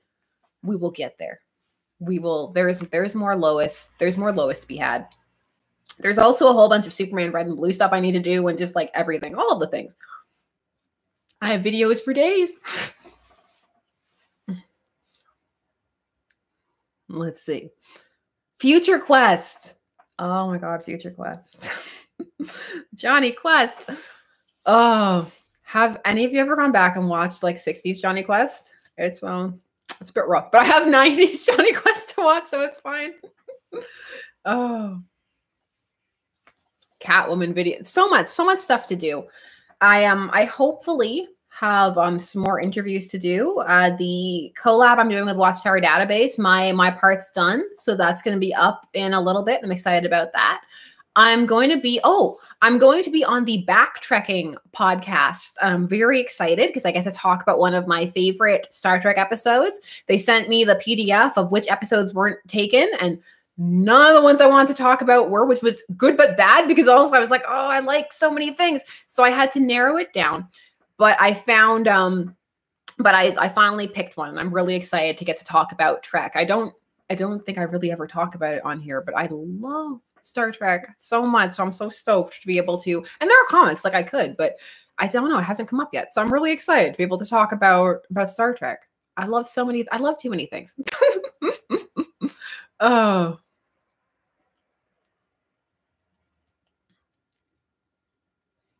Which episode? I chose Hollow Pursuits, season three, episode 21, The Next Generation, the one that episode the one that introduces Reginald Barclay, the holodeck, uh, the holodeck addiction episode. That's the one I picked, and that's what I'm gonna talk about. So I'm not gonna talk about it here because zip backtracking, that's what we're doing. So oh. Uh, so I'm very, very stoked. I'm always so happy when people reach out to me like via email. I'm like, yay, I have you. It's like getting a letter. Like, woo, I have mail. oh, there we go. I actually have started. Okay, you can't see them. They're off over there.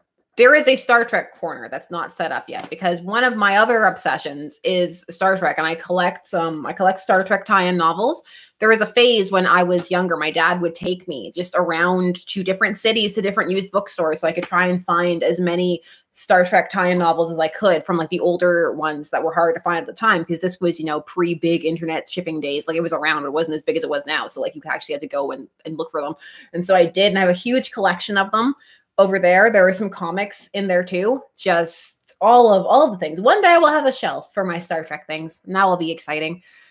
and it will be um it will be over there and you will not see it so it doesn't matter i also um have a poster coming that's one of those um old school wrestling posters like you know like tonight so and so versus so and so and it's kirk versus the gorn and i'm really stoked for it i'm really excited for it it's so silly oh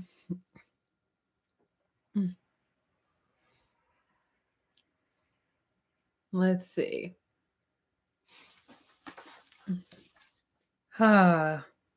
I always divert. That's the thing with these. I always end up diverting.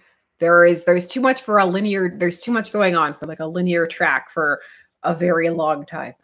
But I will say and reiterate for um if if um the I will say and reiterate it's worth it this is i don't i don't recommend things all the time like you should because you can do whatever you want do what you want. But i think i think in my humble opinion that this is worth your time. And i think some people pass it up because of the whole like you know like hanna-barbera tie-in or like the really simplistic like snagglepuss is a gay southern playwright. I think some people might might kind of pass it over and be like eh but it's it's really it's more than you probably think it is looking at it. You know it's it's more than its description. It's more than its cover. It's more than the concept. So i would say for that it's worth it. It is a pleasant depth filled surprise you know?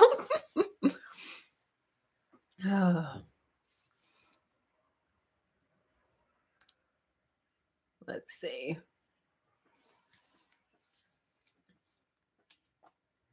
Hanna-Barbera Beyond in general for me was a pleasant surprise.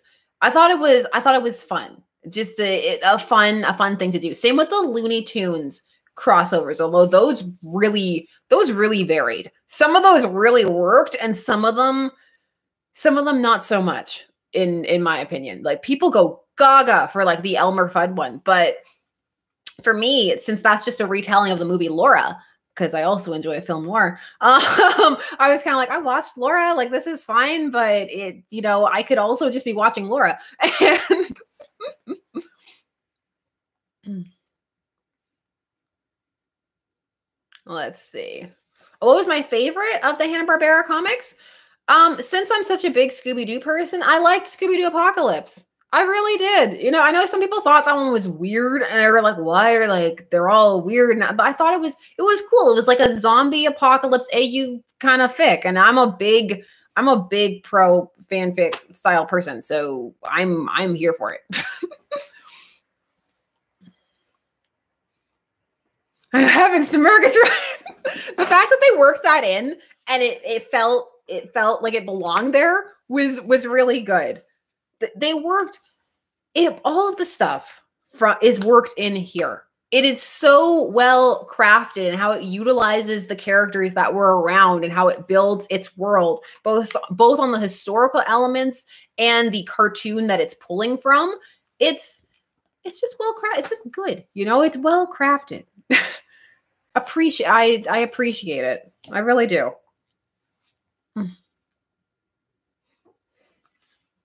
Yeah, dinosaur sprinkles. I agree. You could you can feel it when like a creator is really into it, and like you could feel the love that the creator had for this project. It was like when I was talking to Alexandra about Black Canary. You can tell when the person is really really into it. It's the same with the other interview I'm trying to set up for a uh, a horror comic. It's like I love talking with people who are really passionate about the project that that they're working on. It's it's a lot of fun and you get some really interesting conversations and insights that way.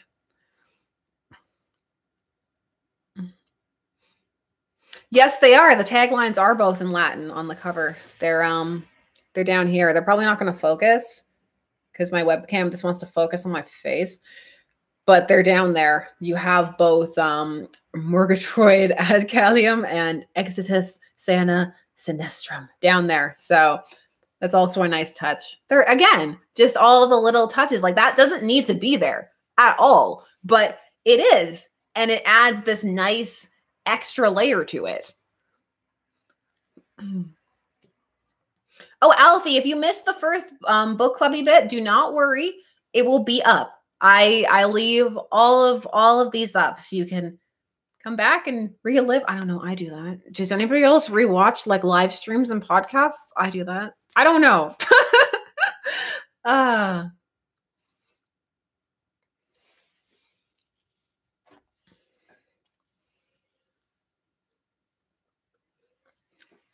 Yeah, I do. I'm a I'm a big rewatcher. oh, good times. Hmm.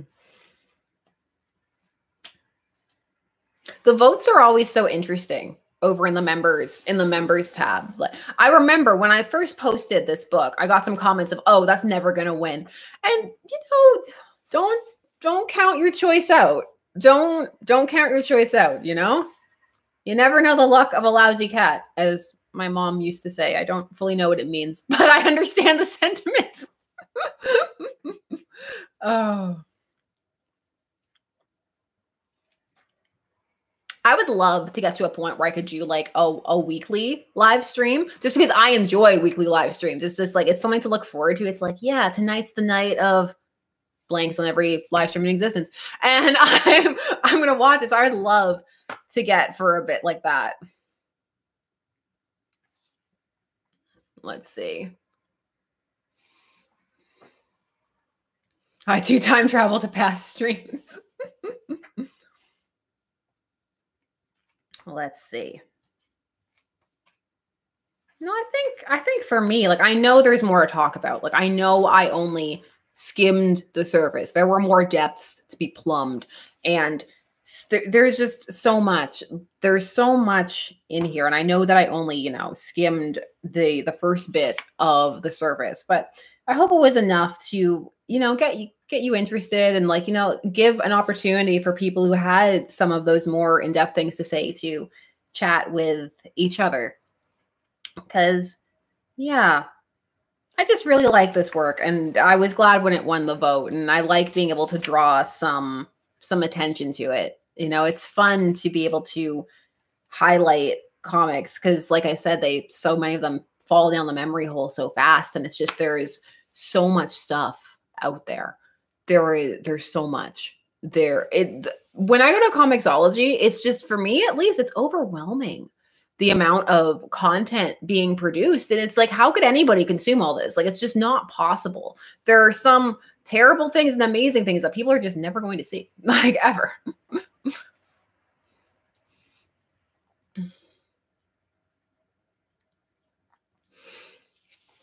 Let's see. Hmm. Oh no, I'm not. I'm not done as of yet. I think I just have snagglepussed myself out. Exit stage left for snagglepuss. Sometimes he exited other ways. You know, he also exited stage right and stuff on the um on the cartoon. And he would do that cute little like like you know the big full body exit, which was really cute.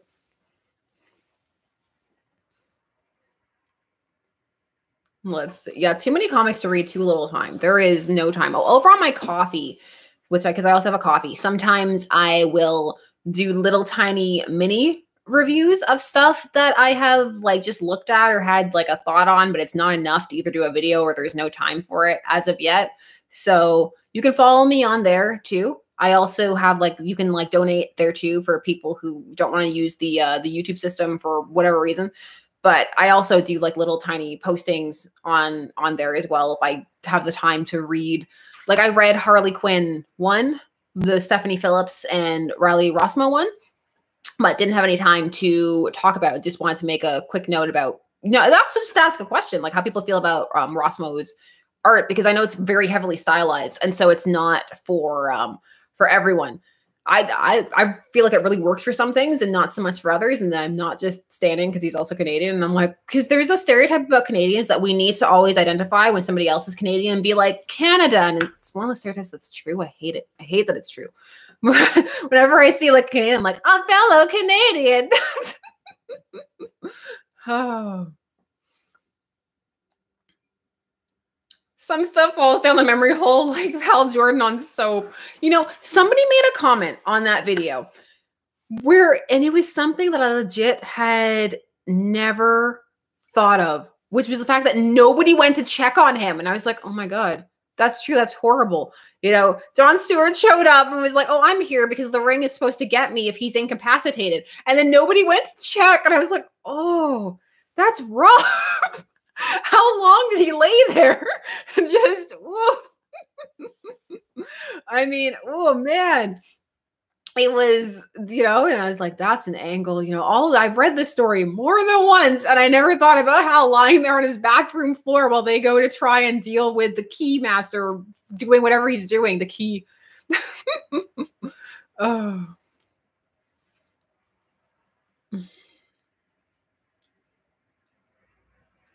Let's see.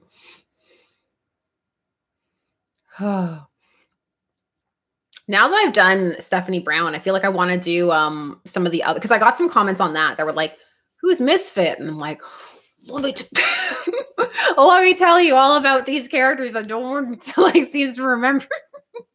there are so many characters out there. There really is. I feel like a character for for everybody. There is just there are so many. There have been so many, so many comics, so many years, so much stuff to talk about. Never ending stream and supply of of stuff. oh, harsh tiny manticore. He's the second worst human lantern. Then who's the worst? oh, harsh. It's getting harsh in the chat. Mm. There's a bunch of uh, omnibuses that are coming out soon that I've uh, wish listed that to bookmark for myself, but I'll probably only be able to get one. So I'll probably pick up Tom Strong because Tom Strong is something that would be McReese guy that would be fun to talk about. It's one of those ones, and lot of people talk about Tom Strong. So I'm like, yeah, Tom Strong.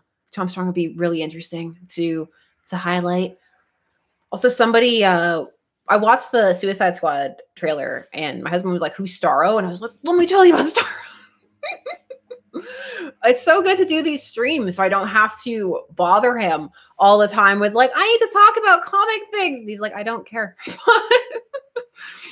I saw in the comments of one of the videos that someone was like, Is her husband a unicorn? I feel like he doesn't exist. I wanted to get him to write me a joke note before he left with the um with the girls today. Like a note that's like, I exist, because that would make it seem even more like he didn't exist, which would be really funny. But uh omnibuy, yeah, is it om omnibuy? Omni multiple omnibus I, omnibus, yeah, they're great too. Because if you're a bootleg like me and you need to prop things up, like say it's a teleprompter or whatever, you can put them on the on because they're so tall. Who needs fancy things when you can just stack all your omnibus on top of each other? That's what the people do. You make it work. You use what you can. You use what you got.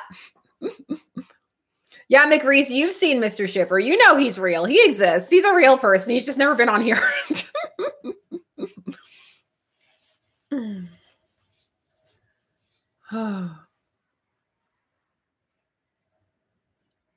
we have talked about Snagglepuss.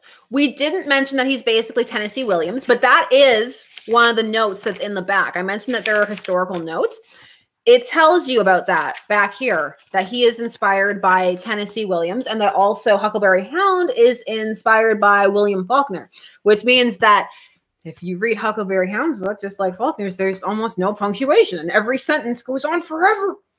I remember reading um, Faulkner in university, and it was like, just don't mind that the sentence goes on for like eight pages. I'm like, oh my god, the sentence is never ending. I shouldn't talk because that's how I talk, but it's distressing to read. Put a comma, man. End the sentence. Oh. It is again, it's great. Like this kind of stuff, like these are little things. This doesn't have to be there. There are tons of of books that are playing with the actual historical things that don't put them there. It doesn't need to be there or that the editors don't allow to be put there. However the process works. So it's, you know, it's it's really cool to have that and helpful. I appreciate I, appreciate you. oh. Oh, let me see if they have one for Quick Draw McGraw. I don't think they do though. Because Quick Draw McGraw is basically there because he is like the leader, you know, let's start the show. Oh, here he is.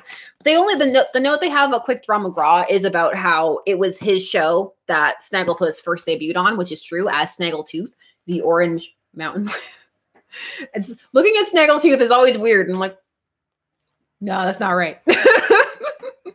when you get used to seeing a character one way and then you see them like in some like proto way, you're like, no, I don't like that. No, thank you. I don't want it. Take it back. Take it back.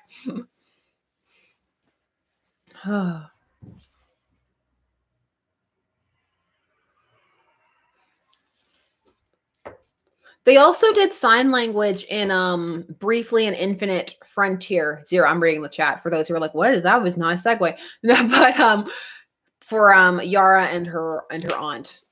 That's a series I'm looking forward to. I'm looking forward to the um, Wonder Girl series. Some people are like, "How dare you, Wonder Woman?" I'm like, "No, but the series is before that, so it's it's Wonder Girl."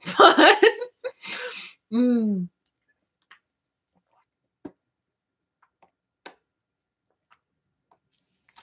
Mm.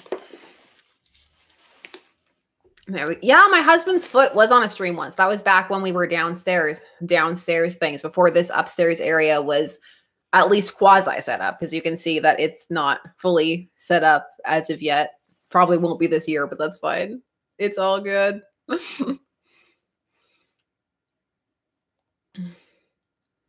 Let's see. Oh, Harvey Birdman. I love Harvey Birdman. I don't think there was a Snagglepuss appearance on that though. At least if there was, I don't remember it. And if there was, and someone needs to go edit the Wikipedia article and add it on, but I don't remember it. So, oh, this cover is dark.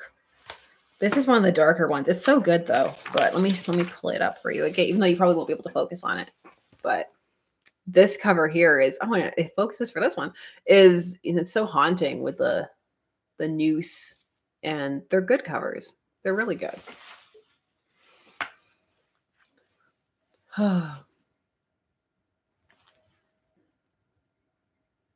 Good.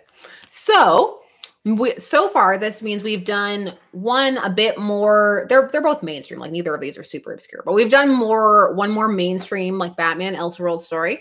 We've done a kind of niche side project thing. What should we focus on next? We get real obscure.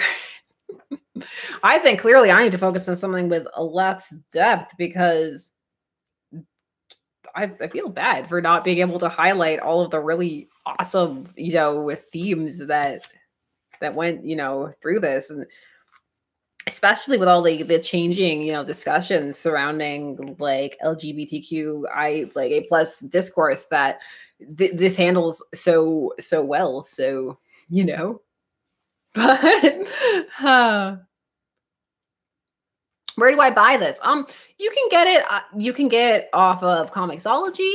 You can get it off of Amazon or whatever your local bookstore is. Like for us, it's Indigo or Chapters. I think down there it's like Barnes and Noble or something.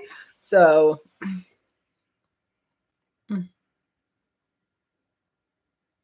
Let's see.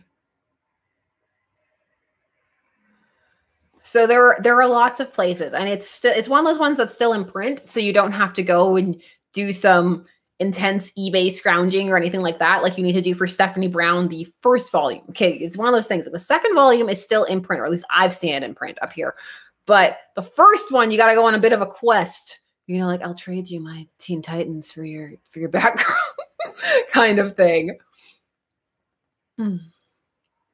Is this standalone? No, I'm I mean like there's a continuation, but I mean you can just read this on its own, but like there's a there's a like a sequel thing to it. Hmm.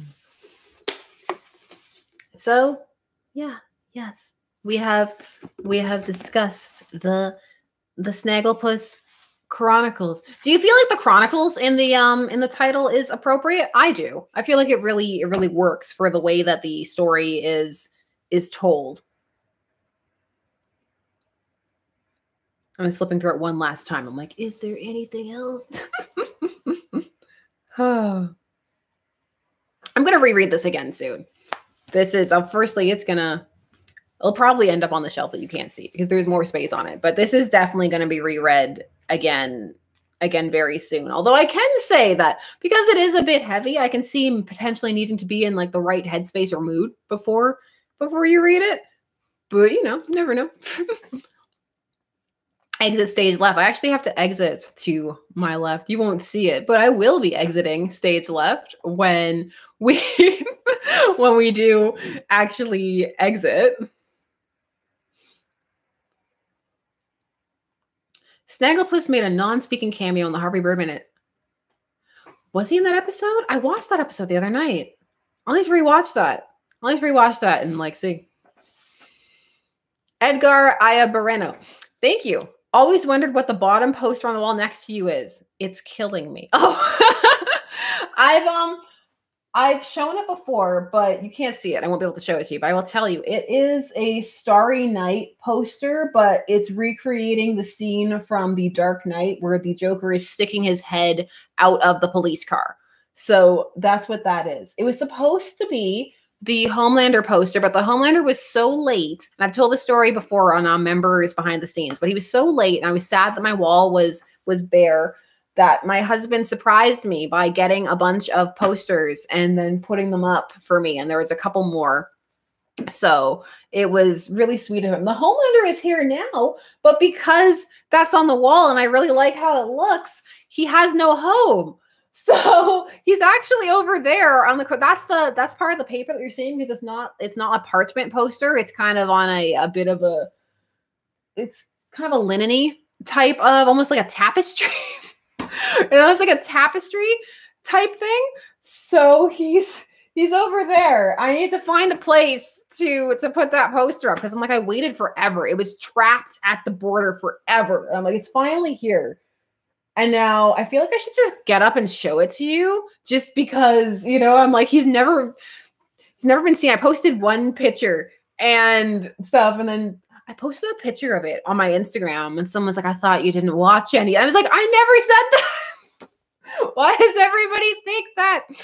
Oh, but it was really it was really sweet so all of the posters that are actually even up here behind me are ones that that he that he got for me because i was sad. So it was it was really sweet. No. And he listens he listens to me to me prattle on about all of the the comic stuff despite not being really into it. So i really do appreciate that. It's nice. Oh Is that an alias on the book? Yeah, it is. It's yeah, yeah, it is. Oh, they're jutting out because I had to move them the other day to put up to do a teleprompter thing.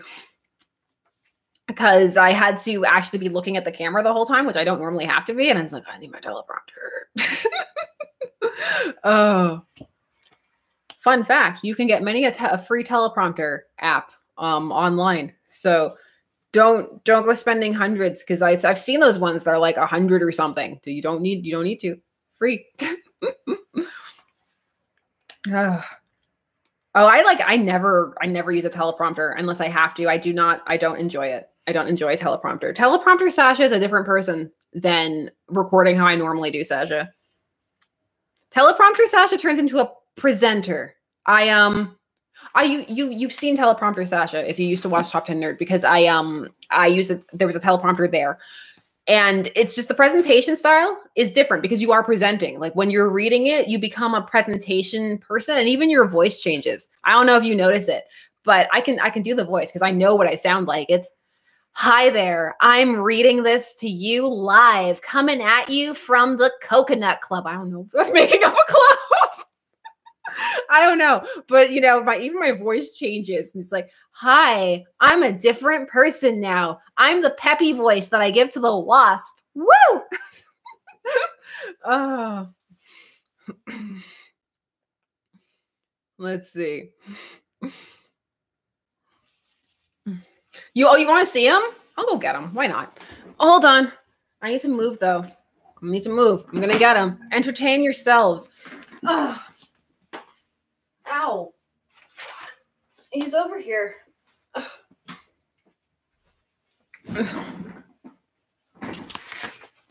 Here he is. it's um yeah. I need to find a spot for him. I don't know where he's gonna go. He's gonna go somewhere. Oh. It's good. It's a good it's a good poster. Fan. Just need to find a need to find a spot for it to go. But I feel like it doesn't match the color scheme at the corner there anymore, which is why he hasn't gone there. You can live over here for a minute. Ugh. No, I like the Starry Night on the set because it's a nice contrast because everything in the room is so yellow because I have the yellow walls and the light coming in and stuff that it provides a nice color contrast.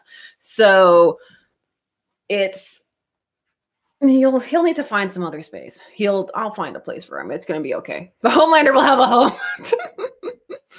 Wherever it goes, it'll stare at you. No, it won't, because if you notice, the eyes are slightly off to the side. So it doesn't have that whole, it's not following you. It might look like it's not, it's not. Trust me. It's not following you around the room. Don't say that to me. I won't be able to put it out. I think it's looking at me all the time. Don't do it. I won't be able to do it if I think it's always looking at me. Huh. Oh, Lala, thank you very much. That is the cutest little ninja puppy I think I've ever seen. That's so cute. Thank you very much. we need to find a small club in the middle of nowhere called the Coconut Club. oh. But yeah, I need like any like nerdy. There's one thing that's going to come on the set because it's broken. But at a Value Village, I found a little Harley Quinn figurine, but the the hammer had broken off, And so it just needs to be glued back together. So once I eventually have time to, to glue it, then I will find a place to put her that's on the set because it's super cute. So it deserves to be to be showcased. I like having all the little cute like little Funko things, but the Funko-ness has gotten like out of control. Like I was at an EA Games the other was I what's it called? I don't know. Some game store. But it was all it was just like all Funkos. The whole wall was just like barely games, only Funkos. And I was like, this is a lot of Funkos. Just whoa.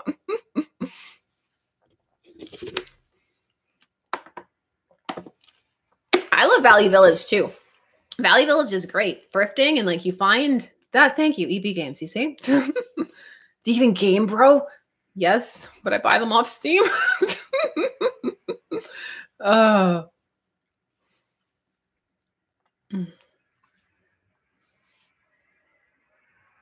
No, it's true. Funkos are everywhere. The toy store, just all of all of the places. I'm so glad that my daughter hasn't really taken too much of an of an interest in them. Let's see.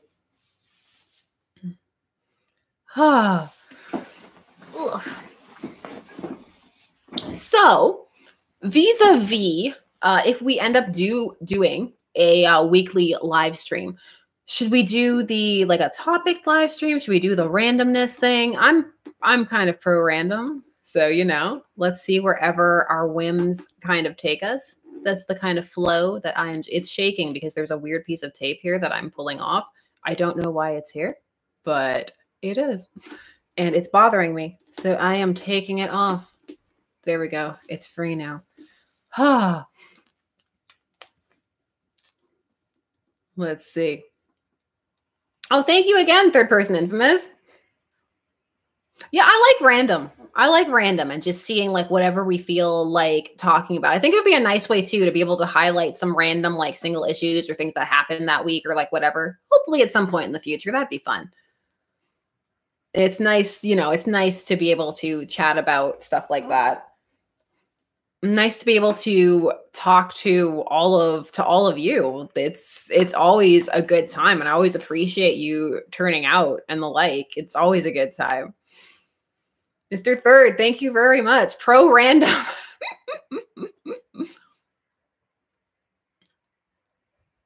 Definitely random.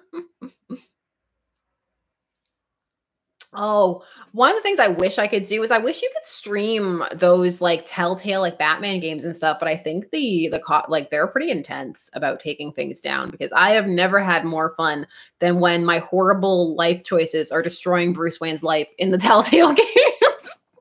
I'm atrocious. I'm an atrocious Bruce Wayne. Every decision I make, it's like this person will remember that. This person's gonna remember that, and I'm like, I am destroying this man's life it would be so fun to do that on stream. I, I love I actually enjoy streaming games a lot. My other channel, I uh, streamed a bunch of uh, kind of dating sims and visual novels, and it's just a lot of fun. It's so the, the choices are great because everybody's yelling at you, and it would be so fun to be able to do like, what are you doing? Stop ruining his life. oh, so good.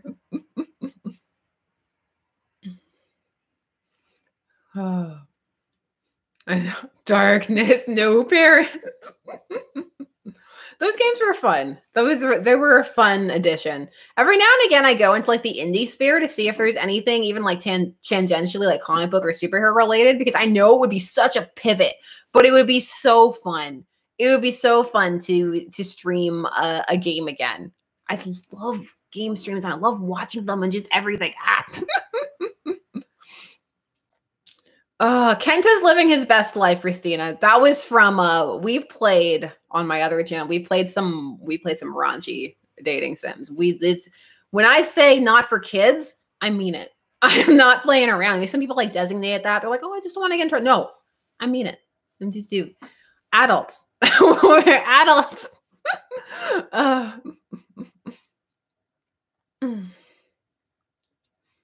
uh. Yeah. But I think we're winding down, and I want to thank all of you for coming and and hanging out and talking Snagglepuss. And I hope it was interesting.